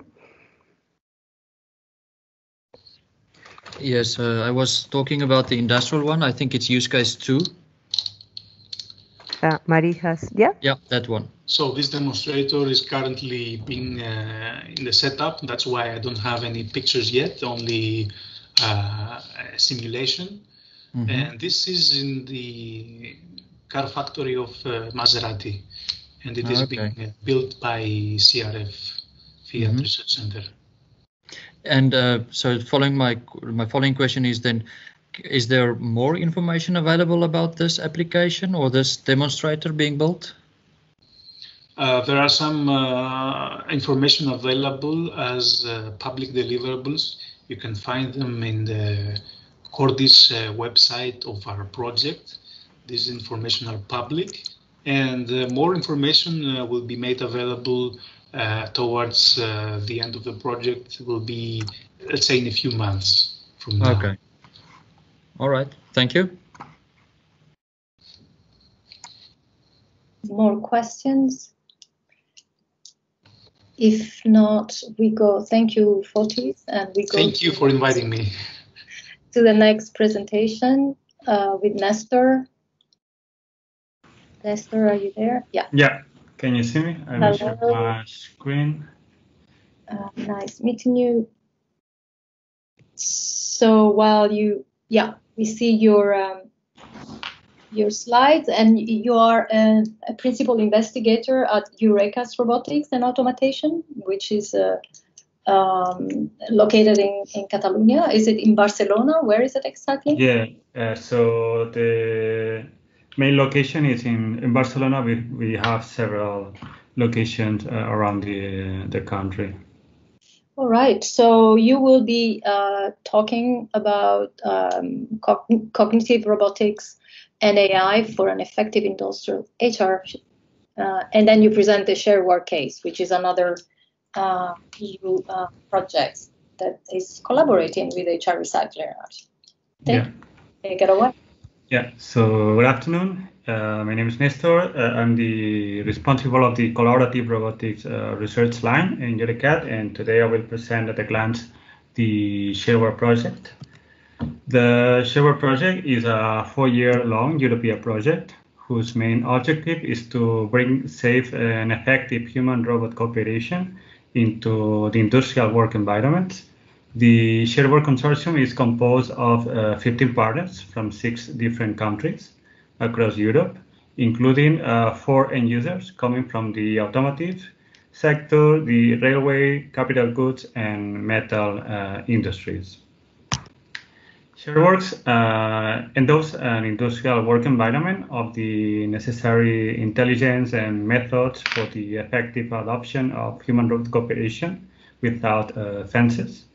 The project objectives are the design of an evolving knowledge base and environment cognition, the development of a human-aware task planner and motion planner, the development of a multimodal human-robot communication system, and the development of methods for overcoming human-related barriers and ensuring a successful integration. The solution proposed by ShareWork will be able to select the best tasks to be performed by the robot and their timing based on the, the task being executed by the, the human. The system will also inform the human about the next action and understand the, the human request. This will allow the robot to adjust speed and torque to ensure the worker safety. Moreover, uh, not only the robot will recognize the human tasks, but also it will learn new tasks from observation. In addition, the, system will evaluate the worker ergonomics and will provide uh, corrections to improve it and avoid uh, possible injuries. Now uh, we have executed more or less half of the, the project. So we have already defined the robotic solutions and the system architecture. Uh, we finished the development of the all the necessary uh, models composing the, the project. So we are uh, currently uh, working on the preliminary system integration into several uh, mock-up uh, pilots to optimize the, the system components in order to prepare the, the final phase in which the, the performance on the functionalities of the whole system will be evaluated in the four real uh, industrial scenarios. So uh, going for the use case, uh, the first one is uh, based on Alstom uh, in the railway uh, sector. This uh, use case is focused, sorry. this use case is focused on the assembly of doors and window frames for tramways. The frames are composed of four metallic parts that must be assembled in the, the corners using uh, silicone and afterward these corners are riveted. So in fact, uh, the assembly of the whole frame uh, can be considered as uh, four identical sub-assemblies, which contain some low value added and repetitive tasks. Some uh, important constraints related to the silicon application is that the, the silicone must be correctly applied within the contact area and spread uh, evenly. And in the riveting, the, the tool used is uh, heavy, so it's more or less like uh, five kilos. And uh, the recoil of the tool uh, causes some uh, serious injuries after long use on the worker's shoulders. So uh, for this reason, with the ShareWork project, the robot will be able to take care of these tasks and let the, the operator just control the robot and check uh, the quality of the, the assembly. So uh, you can see here the, the proposed solution uh, where we will use a, a cobot mounted on a linear axis that will be able to uh, move the robot to each of the different uh, corners while the, the, the worker is uh, performing some other tasks in the contrary corners. The next uh, use case is, is, based on the voice Uh, this uh, use case is focused on the assembly of uh, servo rotatory tables. In this assembly operator uh, operation, the human operator must tight a lot of bolts, which is a low value added task. Uh, moreover, the correct torque must be applied to each of the screws and also the, the screws need to be tightened in a specific sequence. So uh, this uh, produces a lot of uh, human errors that will be solved by introducing the robot assistant in this task. Uh, this uh, use case has a second task, which faces the, the quality inspection of the cam followers. Um, in this task, the this input shaft uh, must be rotated while observation, observing the, the motion of the followers uh, through this uh, mirror and two openings uh, over here. Uh, the rotation must be controlled both at torque and velocity level, which causes physical fatigue so the average the average is like uh, 20 rotations at 250 newton meter, which is a high physical demand for the workers. So the solution uh, we plan here is to let the ShareWork system move the input shaft uh, controlled by, by human gestures. Uh, hence, the, the operator can focus only on the, the quality inspection and can reduce the injuries to the, the physical fatigue the uh, you can see here the proposed solution where the, the cobot is uh, mounted on the work, uh, working table. In the cobot is the responsible for the the screwing uh, of the the nuts, and also you can see here the motor which uh, is responsible for uh, rotating the the input shaft while the, the worker can uh, easily uh, check through the, the windows the, the quality of the, the cam followers. The next use case is the resident chamber, which is uh, focused on the load and unload of pallets in CNC uh, machines. In the chamber facilities, the parts to be uh, fixed are mounted um, on multi-fixturing devices called uh, pallets, which is this thing over here. Uh, the project aims to assist the operators with the screw and unscrew operations, which are so repetitive and low value added, and also to assist the, the operator with the check of the, the parts, since there is a considerable number of pallet configuration, which is causing a lot of uh, mounting errors. So consider that Chamber is producing more than 200 different products, so you can imagine the, the big number of different uh, mounting configuration on these pallets. Uh, in addition, the, the operators are uh, subject to a high uh, workload when moving uh, metal parts. So thanks to the robot assistance, the, the operator ergonomics will uh, surely improve. In the proposed solution, a cobot is mounted on a gantry, which helps the, operator in the load of the pallet, of the pallets. Uh, the robot by itself is able to identify the, the metal parts to be machined and grasp the, the fixture to uh, fix the, the metal parts on the on the pallet and put the, the, the this piece on the, onto the pallet. Finally, is the we have the the SEAT use case, which is focused on the mounting and unmounting uh, the front, rear, back uh, doors and also the, the hood on dummy chassis outside the the mine the main uh, production line for those uh, parts which have some defects and must be repainted. So uh, different parts from different different car models must be processed in this uh, workstation. These parts must manually trans uh, be transferred to a lateral uh, shelf, which is which is a process which is not efficient, and then mounted back on the, the chassis while the operator lift them manually uh, and hold uh, the, the, the hood, for example, in that position while other uh, workers um, do the assembly operation on the on the chassis, which is for sure um, a task which is not ergonomics. So the idea here is to let the robot uh, to autonomously storage the, the parts and hold and to hold them while the operators do the the assembly operation. This will let uh, free the operator hands reducing the, the physical fatigue and also increasing uh, productivity. So uh, in the proposed solution, you can see uh, two robots uh, at both sides of the uh, transport uh, line.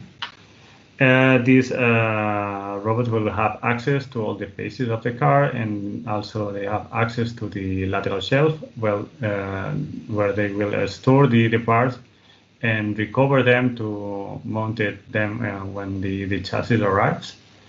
And yeah, the robot will uh, lift the, the parts and hold the, the weight while the, the operators perform the assembly uh, operator uh, operation on the on the chassis. And this uh, for, for, sure will increase the the human work ergonomics. So thank you for your attention. This was uh, the ShareWork project, uh, shortly at glance. Now, if you have uh, questions. Thank you very much uh, for your presentation, Nestor. Uh, are there any questions? Maybe we can discuss later, if possible, on the impact of having a complete automation versus um, having the human in between uh, in the work pipeline. So those are relevant issues for uh, having an economic impact, in positive or negative. We have to see uh, who agrees on what. Uh, but yeah, it's a reality that we cannot um, avoid having complete automation. But the human factor is also very important and should be taken care of somehow in the economic impact. Uh, so if not, uh, if there are no more questions, I would go. Uh, thank you again, Nestor. We go thank to you. the next to the next uh, presentation. Uh, I don't know if Daniel uh, is there. Daniel Camilleri. If not, because I don't see him here, I don't know if he's having trouble with Teams. If uh, then Panagiotis, if you can just take uh, over and maybe you can present uh, before. But Perfect. Sure, I'm here. Hello, everyone. Great, great. So, um, Jan, we start with your presentation and uh, So, uh, Panagiotis, you are a researcher at the uh, University of Patras in Greece. Maybe you Exactly. Want to mention you want to mention the laboratory, which is a long name. So I'd Sure. like to present this, and if you share your slides. Yeah, just one moment to share my screen. I guess you can see my screen right now. Yeah, we can. Great. So I think also the visual input for the long uh, laboratory name uh, also helps. So uh, hello everyone. Uh, first of all, I would like to thank you uh, for the invitation. Uh, my name is Panagiotis Karagiannis, and I'm from the Laboratory for Manufacturing Systems and Automation uh, from Greece, from University of Patras. Probably most of you know the short name LMS, which is easier also to remember. Right. And uh, actually, I'm a research engineer in uh, in uh, in this lab for quite a few years now, and uh, I am uh, doing my PhD. Would you go in the presentation mode if you can? Ah, sure. Uh, one moment, let me Yeah. transfer you a bit on the top. okay, now I think it's better. Okay. Uh, so the topic of my presentation is, uh, in general, to describe a few methods and technologies for human-robot collaborative uh, cells that we have uh, uh, worked uh, the past years in different European funded projects. Um, now I'm in full screen mode, so if someone has any questions, please feel free to unmute yourself or we can discuss in the end, but I cannot see any raised hands and chat, so uh, I will try to be quick and efficient. So here you can see uh, a bit uh, the outlook of my presentation. Uh, so we will uh, discuss a bit about current uh, solution in manufacturing. And by current, we mean without having a human-robot collaboration uh, aspects inside. Then we will present uh, our vision, let's say, from uh, the future that we, we are very happy to see um, this future a bit starting to shape in the current factories uh, bit by bit. And then we will get into a bit more detail for um, a, a few methods and technologies that are uh, important in order to implement uh, such uh, cell. and in the end, we will show you a few industrial use cases uh, that we have realized in our laboratory premises from past European projects. So, starting from the from the introduction, why we want to have um, a human-robot collaborative uh, cell? What is the motivation motivation behind that? So right now, uh, as you can see also in the top right image, there are fixed uh, manufacturing lines uh, that they are dedicated to specific products and the automation systems are uh, uh, fixed to this uh, dedicated product. So it's a bit difficult to update the, um, uh, these lines to introduce new products or to make customizations for the uh, for the customers. It's uh, it's very time consuming to test a new line before finally install it in order to replace the old ones. Um, there are a lot of uh, unexpected events. I'm, I'm pretty sure that you all know that a manufacturing environment is very dynamic and it is quite difficult, if I not say impossible, to predict uh, all the different and possible events that may occur. Um, as I said at the beginning, it's very part dedicated, not so flexible to changes uh, and uh, to introduce new products and um, a, a, lot of uh, time and money is also lost from uh, for the maintenance activities and the breakdown uh, cases that make the whole production to stop. Uh, also, from the human perspective, there are some disadvantages, let's say, uh, which are related to the working conditions uh, of of the humans. So the operators are lifting heavy loads. They have to make a lot of non-ergonomic operations, as you can see also from the uh, bottom right um, image, the human operator should work in a very narrow spaces and do repetitive uh, tasks, leading to MSDs and uh, a lot of stress during the, um, their operation and their activities. And this leads also um, for them to take long leaves and leading to production downtimes. A third pillar is the market requirements. So nowadays everything uh, runs in a very high pace. So similarly, the market needs are changing very fast, and the industries have facing are facing a lot of struggles and a lot of difficulties in order to keep up with those uh, needs and requirements.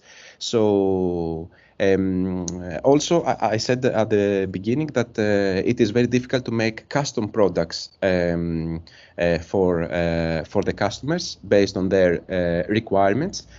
So the transition from the mass production model that was necessary um, before in order to produce a lot of products uh, to and offer a lot of products to the market. Now is starting moving towards uh, the mass customization uh, model, which means that each one of us requires um, the same product but to customize it uh, based on their likes. And this creates a lot of problems during the design of the manufacturing uh, lines and the design of the products um, uh, as a consequence.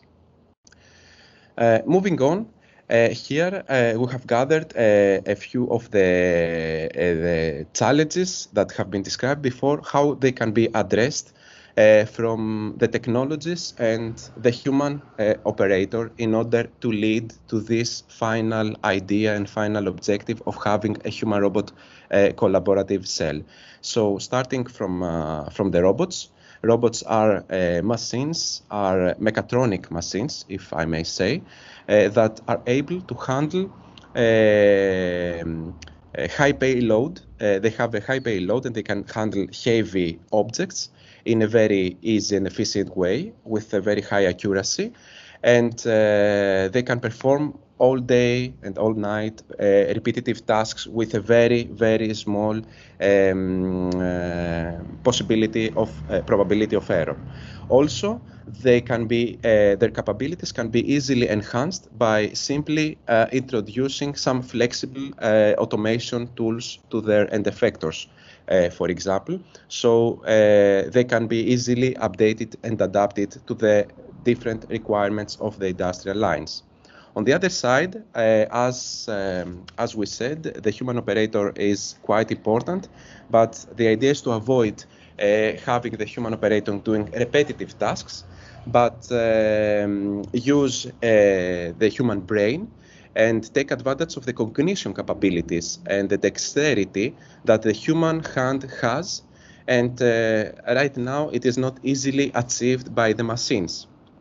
Also, the human operator uh, has a lot of information uh, to receive from the environment, and not just because there are a lot of machines and automation tools that exist around him, but also because the production status and the production lines right now are very complex, and for this reason they need to be aware with a lot of information. Uh, moving at the bottom left uh, corner, of course, an important aspect are sensors that uh, take information and data from the production line, from uh, from the resources, from the products, the parts, and so on. And based on this information, the automation tools in general can make their own uh, decision. And a last pillar, which is also a very important for a human-robot collaborative cell, is how to combine all these things, sensors and resources, in order to provide the necessary information at the right time and the right place in a format that is uh, easily uh, adapted to the needs of the different resources. So the human operator cannot understand bits and bytes, of course. They need to have images or text in their um, native language and so on. So in the center of all these activities, the industries are trying to foster an coexistence in the assembly lines between humans and robots, that they are able to share the workplace and share the tasks in order to solve the problems and the challenges that I described in my previous slides uh, that would increase the production um, uh, rate and minimize the delays of giving the products to the markets. Um, this is a bit of state of the art, so I don't want to, to take much uh, time on this slide. Um, yes, pretty much everyone is uh, very familiarized with uh, human-robot collaborative uh, solutions. We have also seen from the previous speakers a lot of examples like universal uh, robots or the KUKA uh, collaborative robots. Also, ABB and DLR are working with a collaborative solution.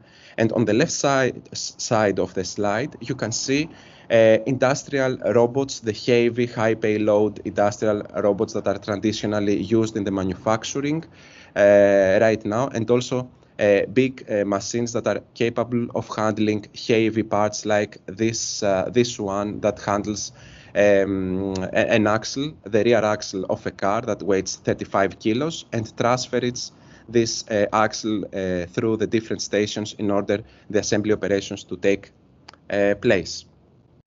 Also, another example and a key technology that has been heavily used uh, in human-robot collaborative environments uh, is the AR technology. So this uh, this is very popular, let's say, because it is very immersive it can provide um, information, uh, as I said before, in a very human acceptable, let's say, uh, way. Uh, because uh, you can show 3D images in the real environment alongside with the real environment. So either the human operator or the engineer, depending on, on the application, uh, can have a better understanding of what they are designing and on what they are planning.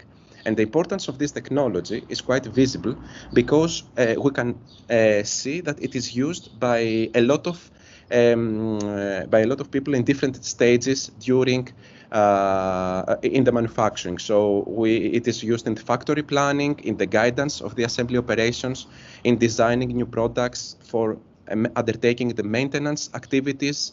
Um, in uh, in the assembly factories and uh, for programming, Uh, creating new programs for uh, for the robots. So as you can see, it has a quite broad uh, acceptance and applicability. Now, moving back to the human-robot collaborative cell, here we would like to share with you our vision, let's say, from a future factory that, as I said before, we start to taking a bit more uh, of shape uh, in in the real industrial uh, lines. Um, in this collaborative cell, we can see the humans and the operators to work together and to combine the technologies, the four pillars that I described before, um, together in order to have a higher flexibility and reconfigurability, to achieve higher flexibility and reconfigurability uh, on the different resources, uh, on the processes, and as well on the products that we need to prepare at the end um, of, of the line and provide to the customers. So uh, in my following slides, I will try to explain a bit more detail these four pillars that you can see in the orange, gray, green, and yellow gold um, boxes. So starting from the left one, there are robotic solution. The robot is a key resource for a human-robot collaborative cell uh, that is equipped with different tools, as we said before, or even with some uh, more advanced mechatronic um, devices like assembly machines in order to execute a specific operation. Uh, also in the center, there are the sensors that are required in order to receive feedback from the manufacturing environment. As I said, it's a very dynamic uh, environment and it has uh, a lot of changes that are taking place. On the right side is the human operator that is able to grasp the robot, as you can see also from this figure, and move it in different places by adapting or fine-tuning, for example, uh, the robotic operation. And in the background, again, there is the control center with the human operator that has an overview of the production status and um, on the PCs are running a centralized synchronization and control framework. Um, so let's say this is uh, our vision for such uh, future model. Now, starting a bit in more detail about uh, the hardware, Um, as I said, we would like to have robotic solutions. Uh, this can be either static robots that are fixed on the ground and the product goes, let's say, uh, the line passes in front of this uh, robot if we are talking for a bigger robot, but also there is the possibility to use mobile resources, so mobile robots, I'm sorry, that have one or multiple arms the, there will be smart end effectors that also have their own degrees of, of freedom to enhance the degrees of freedom that are offered already by the robot. There are different connection points uh, between the robot and the different tools. So this can um, help the robot to change the, the grippers that uh, he can use, the, the robot can use uh, to execute the different tasks, or um, different end effectors in order to uh, grasp machines that can undertake uh, different operations. Um, as we said before, robots have a higher accuracy. They are not affected by environmental conditions. Also, they can work day and night. They don't need special temperature, let's say, like the humans uh, required, um, or they don't need uh, very strict, if I may, if I may be more uh, correct, very strict um, temperature and humidity conditions. They don't need light, for example. They can operate in completely darkness and so on. So they are not affected by the environmental conditions. And uh, they can handle different parts. They can assemble different parts. But again, as we said before, they have. I'm sorry. They have a limited capability in terms of um, uh, in terms of handling parts. Uh, they don't match the dexterity as of now, at least, of the human uh, operators. Uh, moving on with the sensors, the sensors are using uh, perception algorithms that process the data, and by sensors and perception, we speak about a very broad um, uh, very broad uh, technology. Uh, we, we, speak for a very broad range of technologies. This would include vision systems like cameras or LIDAR sensors. This uh, could include uh, piezoelectric sensors that can understand the touch. Um, they can we can speak about um, electromagnetic sensors that can understand a metal or distinguish a metal from a plastic, for example. So uh, by sensors, we mean any kind of um, automation tool that can recognize a specific uh, condition. And by using a smart algorithm in the background, we can take this information and adapt uh, the working conditions uh, accordingly. Uh, moving on, and here I would uh, stay a bit longer, we have the human-robot interaction technologies, uh, which are of very high importance uh, because, um, as you can understand, we are speaking about a very highly automated environment that has its own cognition and it can take its own decisions. And for this reason, the, hum the human operator should be kept inside uh, the loop of this decision making. And um, the human should be aware of the activities that the other resources uh, are doing inside the cell and let's say this, this technology can help the human operator feel more comfortable to work uh, next to a machine as if they are working next to a human co-worker. So these technologies help us to um, enable, facilitate this acceptance, let's say, of, uh, of the human operators to this new uh, industrial paradigm. And also because we are talking about uh, human uh, uh, operators, there is also other difficulties because beyond the technology that you need to select to apply. and this goes more to the psychology factor. Uh, so this technology should not create stress to the operators. They can be very, they should be very uh, intuitive. They should be very immersive, and they should be helpful. Let's say for the operators in order to accept them. Uh, moving on, uh, we would like to, uh, I would like to speak for two main technologies that we have developed in, in past projects and we are still working on them and evolving in them in our current projects. And the one goes to AR technology that I have spoken before, but also we would like to include also um, uh, applications that can run on uh, smart devices like smartwatches that can be weared by the operator and they can be easily follow, let's say, the operator wherever it goes. So we don't need to use big machines or big uh, PCs on workstations that the operator has to come and go in order to receive um, information. But the technology is right now at such level that the operator can wear um, a device and receive information um, on, from the production uh, line. So starting with the AR technology, I will give you a few examples how this technology can be used. So the operator is wearing um, smart glasses, AR glasses, and uh, through the, the lenses of the glass, he can see the real world, but also he can see um, 3D models or instructions from uh, for the production uh, for the activity that the and the operation that he needs to undertake.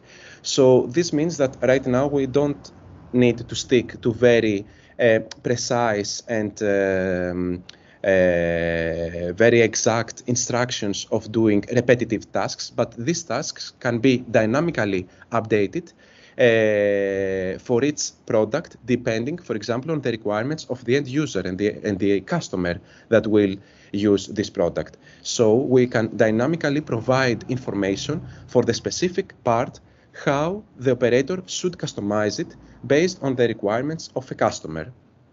Also, the operator can receive information about the model that is processing. So he can have a background knowledge for this model and adapt, as I said, uh, some custom information and some custom operations for this uh, specific model, or can receive information for how much time or how much uh, how much remaining time he has to process uh, a part, or how much time um, it took him to work on a product. Uh, and, and so on. So this can give the operator an overview and an idea about the whole production, how it is proceeding uh, during uh, the day. Of course, all this information uh, are not locally stored uh, inside the device because, as I said, they are dynamic information and they are adapted to the specific needs of the, the specific production of the day, probably, or of the specific shift. Uh, they are stored in a central um, execution system and they are dynamically uh, sent to its operator based on the station that the operator is working. Also, uh, before I spoke about uh, acceptance uh, and increasing awareness of the human operator for uh, the industrial environment. This means that the robot, uh, which is the main uh, actor also in uh, in the cell, uh, is doing specific movements, or the robot can be restricted inside some safety zones, let's say, and there are other safety zones that only the human can enter. But these are programmed inside the robot controller, or they are stored, let's say, in a central PLC, and the human operator is not aware um, doesn't have this information, is not aware of what the robot will do. And for this reason, using the AR glasses, he's able to see, for example, in the top screen, as you can see, um, the end effector, the, tra the, trajectory of the end effector that uh, the robot will execute, which in this case it's a straight line, let's say, to approach the one part to the other. But also in the bottom screen, you can see that he can see some safety zones. So with the red, for example, he can see the safety zone in which the, um, the robot uh, is instructed to stay inside, and the green zone is the area that the robot is uh, instructed not to enter because it's the zone of the human operator. So in this way, the human operator um, imagine you see just the two parts without this information. It's not seeing just a robot moving in the area without knowing when it will start or well, where it will end, but he, can see a line or he can see a zone, a box, inside which the robot is moving. And this increases his awareness about uh, his co-workers, as, as, as I said before. Now, moving to the other uh, technology, the smartwatch uh, technology, uh, here are a bit details on how the application is running, but the main idea is that each operator has a specific um, smartwatch that extract, ext tracks a QR code and using the camera from the AR glasses, it matches this smartwatch with the AR glasses. So the system can identify him and know uh, the specific operator wears a specific model of glasses and a specific model of smartwatch. And then the execution system can send instructions and information only to this operator and to his or hers devices. Uh, what this information includes now for the smartwatch application. It can be a button in order for the operator to inform the system to um, uh, about his task that it has been uh, completed. Or another example in the next slide is to activate uh, another perception functionality, which includes audio commands. So in case that uh, he wants to make the robot start or stop for some reason or to make a pause, he can verbally provide this um, instruction. And also the smartwatch application can be used to interact also with other devices like the AR glasses. So the human operator has um, a broad spectrum of buttons to select and um, choose what kind of information wants to see in his field of view. So the operator doesn't see 3D models or the trajectory, for example, of the robot uh, all the time, but he receives this information, and when he or she wants, she can uh, remove this information from uh, the field of view. Uh, in this way, you can understand that the capabilities are almost limitless, and they can reach our. They are limited only, let's say, by our imagination. Uh, the main idea that I would like you to keep from these uh, two technologies is that uh, using wearable devices, the operator can send information to the automation system, to a central control platform, receive information from this platform, and also interact uh, with uh, with the applications that are working on the devices that uh, the operator is using. Last but not least, I move to the uh, final um, uh, technology, which is the centralized synchronization and control uh, mechanism, which now we go beyond um, some uh, uh, fixed automation solutions like PLCs, but we are focusing more on service-based technologies that are running on, um, on PCs typically we use a lot the ROS uh, environment and the ROS framework, especially in the research uh, area. We really love uh, ROS, and hopefully uh, with the necessary updates, this will also move to the um, uh, factories. And uh, the, the, the algorithms behind this, uh, the, the, algorithms that are running uh, behind these PCs uh, are responsible to process the sensor data, to send instructions to the different resources on what they need to do and when they need to do it. They enable the communication between the different applications that are running on wearable devices, like I described before, but also they have the dexterity to provide information based on the sensor data that they are receiving in order to adapt to the changes uh, that the uh, human, the, the, industrial factories uh, have, um, they are having. Here you can see. Panagiotis, we have yes. to close because we are running out of time. Oh, okay. So wrap up if you can, please. Okay, one minute more. So I will skip this slide. It's about the control uh, uh, and integration. Thank you for the, the reminder, Anna. Here you can see in integration how the different technologies are combined together. And I will move very quickly to uh, the industrial use cases. So here we had a case study with uh, uh, Tofas factory for the assembly of the real axle um, uh, of a car uh, with uh, the axle wheel group, and the, the robot had to carry the heavy parts, and the human had to do only the screwing process, so the delicate process, let's say. And another application was from the Electrolux uh, factory, uh, where the operator should uh, place um, some tapes on on on the back of a refrigerator, and the robot should place um, a, a, hot foam that uh, was used for sealing a, a case for the refrigerator. So the conclusion, very, very quickly, is that we minimize the costs and we minimize the effort to update uh, the current uh, factory. So we increase the flexibility and we increase the dynamicity of current uh, systems. Also, the operators have higher safety feeling because they receive information and they interact intuitively with um, the environment.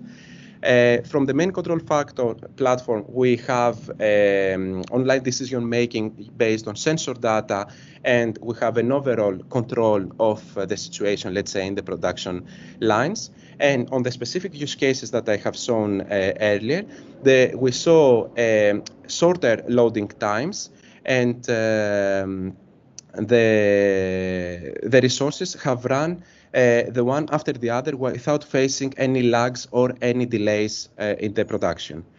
Uh, lastly, here are a few publications that are relevant that we have made from uh, our uh, laboratory. And this was my last uh, presentation. So I would like to thank you very much. Thank you very much, Panagiotis. That was very comprehensive talk and very clear. Thank so, you do we have any questions for Panagiotis? I think everyone wants to go to lunch now.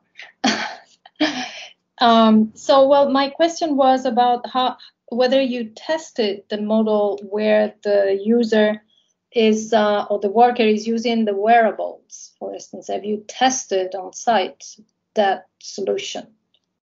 And how? within within this uh, the projects that I, I mentioned before, um, we have not tested.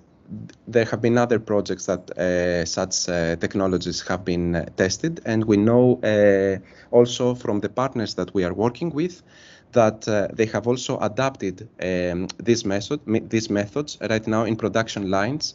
Um, for example, we are working uh, in, in this project, we, you saw the Comau robots, and we know from Comau that they have um, uh, introduced wearable devices um, to new uh, factories uh, from the FCA group that they also belong to. And we have not again uh, made any kind of uh, in, uh, investigation with questionnaires and, and, so on but we know from them that they, there has been high acceptance of these technologies and the operators uh, are working and they're happy uh, using these uh, the, the, wearables um, as a technology inside the factories. Okay, all right. So um, thank you again, Panagiotis. And also, actually, thank you very much. We we are at uh, lunchtime, and I think we lost one speaker. So um, I don't know what happened to Daniel Camilleri. Uh, so what I propose is to go for lunch uh, now, and um, which we are perfectly on time right now, and uh, we resume at um, what is it, uh, fourteen ten, so at two ten. Uh, if everyone agree, we have two more. Uh, no, this week we went through already. Sarah. Um, uh, we come back for the last two talks and uh, to wrap up the workshop. So don't go away, stick around, have a lovely half an hour lunch, and I'll see you. We'll see you uh, at uh, two ten, ten after two. So enjoy lunch. Okay, thank you, Anna. See you.